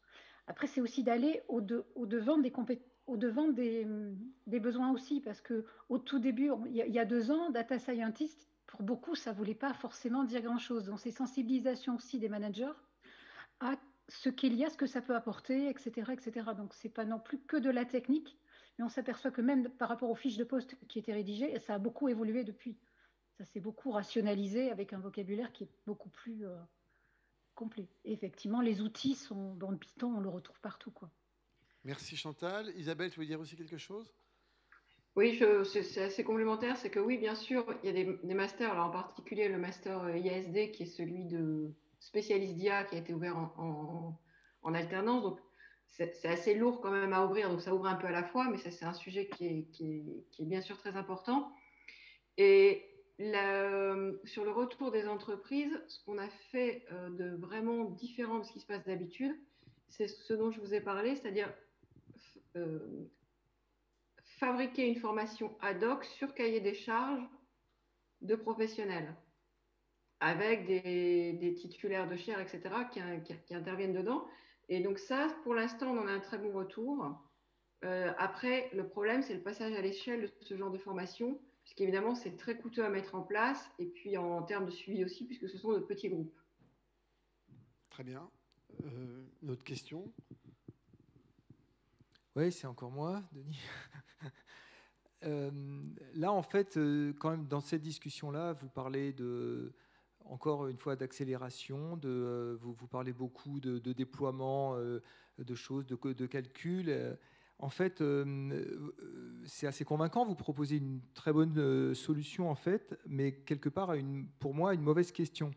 C'est-à-dire que si c'est vrai, quelque part, vos solutions, l'IA donc nous emmène et la société numérique nous emmène dans des choses qui, qui accentuent les inégalités, qui accentuent le fait que les gens, hein, c'est ton, slide, CM, c'est-à-dire que tu vois bien la personne en Afrique, etc., qui, qui est loin du monde numérique et qui ne peut pas l'utiliser. Donc ça, c'est effectivement, effectivement convaincant. Mais dans tout ce que j'entends, dans ma réponse de tout à l'heure de Jean-Luc, c'était euh, quand même, quand j'ai parlé de la frugalité, tu m'as montré l'item 16 qui, disait simplement, euh, bah oui, euh, on optimise, ok. Ça, c'est, c'est quelque chose qui est, une, une. Mais, encore une fois, désolé là-dessus, mais j'ai vraiment l'impression que ce serait encore mieux de limiter en amont. Et, là, quand on parle de besoin, vous avez tous employé le mot besoin, à peu de choses près. Et en fait, c'est des besoins des qui, c'est qui qui les donne ces besoins. Et, quelque part, le, mieux, c'est peut-être d'essayer de, de développer ce qu'on appelle cet esprit critique, etc., systématique, et d'essayer de, donner aux gens, euh, c'est des gens qui sont adultes, etc., qui sont en capacité de comprendre les choses, bah ont-ils vraiment besoin de tout ça? Et, quelque part, ça, je ne comprends pas pourquoi il n'y a pas des modules comme ça qui vont dans ce, ce sens-là, qui sont quand même euh, euh, quelque chose dont on aurait besoin justement. Alors, juste. Euh, je, peux dire quelque chose un peu juste avant. Donc, effectivement, c'est des questions qui sont fondamentales. Et dans, le, contexte de ce projet FELIA, on a un, MOOC hein, qui, est, qui est autour de cette IA euh, responsable, frugale, et qui, va donc être développé et, euh, par l'ensemble des, enfin, par, l'ensemble des, quatre projets FELIA qui sont présentés ici. Siam, tu voulais répondre Oui, je voulais simplement dire. en fait, je suis d'accord avec Denis. Je pense qu'il ne faut pas étudier euh, les systèmes et l'adoption après. Euh, en fait, euh, il faut que ça fasse partie. Et je pense que avoir, par exemple, quand je parle de questionnaires ou d'enquêtes, les avoir, les intégrer dans chaque module avec, ça permet d'avoir des stats d'ailleurs, hein, de savoir comment les apprenants, les enseignants ou même l'administration, quand il s'agit d'outils pour l'administration, réagit à tout ça, et, de poser des questions critiques hein, sur, sur le besoin, mais également sur euh, l'expérience euh, que les individus qui utilisent ces systèmes-là ont. Et euh, je pense que c'est absolument essentiel hein, de, faire ça. On a, une nouvelle action dans le cadre du GDR Madix qui s'appelle Éducation. Il y a beaucoup de gens sur le campus qui va démarrer. D'ailleurs, j'invite ceux qui s'intéresseraient de, se joindre à nous, où c'est précisément ça qu'on va faire. On va passer l'année à, à définir un certain nombre d'enquêtes qui serait euh, compatible avec les outils existants et dont l'objectif est de soulever des questions euh, sur l'expérience, euh, l'éthique de, l'expérience. Et, ouais. Donc je pense que ce, serait très intéressant de discuter avec toi là-dessus. Très bien. Jean-Luc, tu voulais intervenir aussi Oui, alors moi je suis totalement d'accord sur, sur le fond. après, donc là j'ai montré la séquence 16 qui aborde les, les, aspects d'optimisation, mais ce que je disais aussi, c'est que j'insiste vraiment là-dessus, c'est que euh, la, sobriété est quelque chose qui doit être omniprésent, qui est omniprésent, qui doit être omniprésent sur l'ensemble des séquences, sur l'ensemble des aspects euh, du machine learning. Ça, c'est le premier point. Donc, euh, comme la sécurité dans, des sujets, c'est quelque chose qui est omniprésent. Il n'y a pas forcément une séquence dédiée à toute la sécurité de tous les domaines de. là, c'est pareil sur la sobriété. Ensuite, il faut, je pense qu'il y a un point qui est important, c'est de séparer l'outil de l'usage de l'outil, de la finalité de l'outil. Euh, on travaille, euh, on, explique comment faire une régression, une classification. Ça peut être utilisé pour la meilleure ou pour la pire des choses. Euh, ça peut être utilisé pour rendre. Il y a un article dans le Monde de, cette semaine, d'hier ou avant-hier, très intéressant sur le sujet, où j'étais vraiment en phase avec, sur justement qu'un un système d'intelligence artificielle peut être absolument fabuleux pour optimiser des processus qui peuvent être très énergivores, très consommateurs de ressources aussi. Donc euh, c'est un outil comme un tournevis. Le tournevis, il n'est pas bon ou pas mauvais, tout dépend de l'usage que l'on va en faire. Voilà. Alors, alors, alors ça, c'est un long débat. Alors après, je pense que euh, débattre, euh, et, je pense que l'université est là pour ouvrir ces débats-là, donc là je suis totalement en phase sur l'ouverture du débat, débat de l'usage des outils que l'on doit avoir, cette, réflexion est quelque chose d'indispensable. On le fait sans doute pas assez, et là je suis complètement d'accord. Quoi. Mais encore une fois, ce n'est pas l'outil forcément qu'il faut condamner, c'est plutôt l'usage que l'on peut en faire, je pense. Il y a Chantal qui avait. Chantal, oui, vas-y. Chantal, tu as levé la main? Oui. en fait, je, suis tout à fait d'accord avec tout ce qui vient d'être dit, c'est-à-dire qu'effectivement, c'est par les usages aussi qu'on on va travailler sur la sobriété ou sur le numérique durable. Mais il y a, là, c'est vrai qu'on avait peut-être l'air de parler que de. Tout à l'heure, j'ai dit l'IA est vaste, mais les usages de l'IA sont vastes aussi, et, la partie éthique de, des usages de l'IA est, aussi, et du numérique en général, est aussi vaste. Et, de la même manière que, voilà, on va parler de sécurité, ou on va parler, on va parler de, durable et de, sobriété aussi pour le. Ça fait partie des modules. Hein ça fait partie de l'enseignement. Alors peut-être plus souvent pour les développeurs que pour euh, les usagers. Mais finalement, est-ce qu'il faut lancer des analyses toutes les 30 secondes qui vont prendre, euh, je ne sais pas moi, 10 jours sur euh, des heures et des heures sur un, sur un gros calculateur? Ça, c'est peut-être l'usage, côté usage, effectivement. Ou quelquefois, on relance des requêtes, même nous, hein, sur, sur Google ou sur pour rechercher. Et là, l'équité, elle n'y est plus du tout, effectivement. Merci Chantal. Est-ce que je peux juste apporter euh, juste un retour d'expérience euh, Comme je disais, on, tâtonne, on, expérimente en avançant. Euh, dans le cadre d'Ingé Plus, la semaine dernière, on a rencontré une trentaine de profs de BTS à qui on a présenté des scénarios d'intelligence artificielle. Et puis, vraiment pour qu'ils l'expérimentent et pour démystifier la matière. Et en fait, euh, il y avait un temps de 25 minutes d'expérimentation, un temps de 25 minutes de retour d'expérience de leur part. 80% des questionnements qui ont été posés, c'était des questionnements juridiques, éthiques et sur l'impact environnemental. Donc en fait, par l'expérimentation, on voit que ces profs qui n'étaient pas du domaine du numérique en grande majorité euh, ouvraient ces champs de questionnement.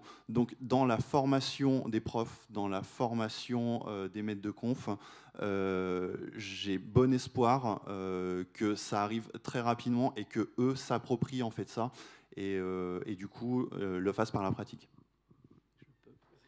Merci.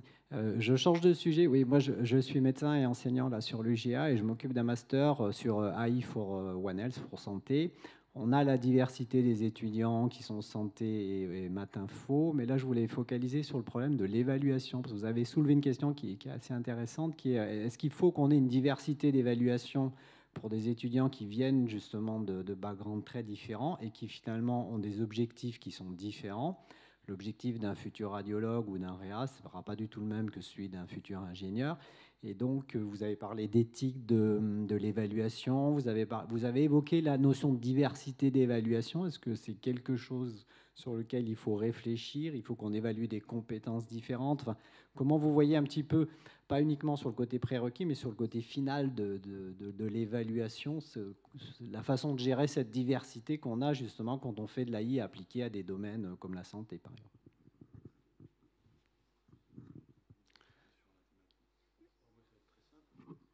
je, vais répondre très simplement, c'est que nous, on fait, de la formation aux adultes. Donc on a une vision plutôt euh, libertaire des choses, donc on ne fait pas d'évaluation euh, de, nos apprenants. Euh, ils apprennent et ils apprennent comme ils le souhaitent. Ils peuvent s'évaluer, ils sont adultes, ils peuvent s'évaluer comme ils le souhaitent. Par contre, après sur la théorie de l'évaluation, je pense que pourra sans doute être beaucoup plus. Euh, la théorie, je sais pas, mais. sur les principes de l'évaluation. Oui, oui, oui. en fait, euh, effectivement, je pense que l'utilisation de l'IA pour, euh, pour, pour, pour, enseigner l'IA ou pour enseigner autre chose a cette, ce potentiel, simplement parce qu'on peut. En théorie, regarder où en est chaque apprenant et, adapter ce qui, lui est proposé donc plutôt que de, Mais en fait, le, souci ou la, dérive potentielle, euh, c'est celle qui est connue dans les systèmes de recommandation, c'est qu'après, euh, voilà, les gens restent avec ce qu'on leur propose. Mais donc, en fait, il faut, il faut, faut, faut être un peu, euh, il faut, il faut, il faut des systèmes qui permettent, c'est le learner agency, qui permettent à, l'apprenant de reprendre la main éventuellement sur, sur le parcours. Mais du point de vue algorithmique, c'est tout à fait faisable. Oui. Pour ajouter un peu d'entropie aux questions à la carte. Une dernière question.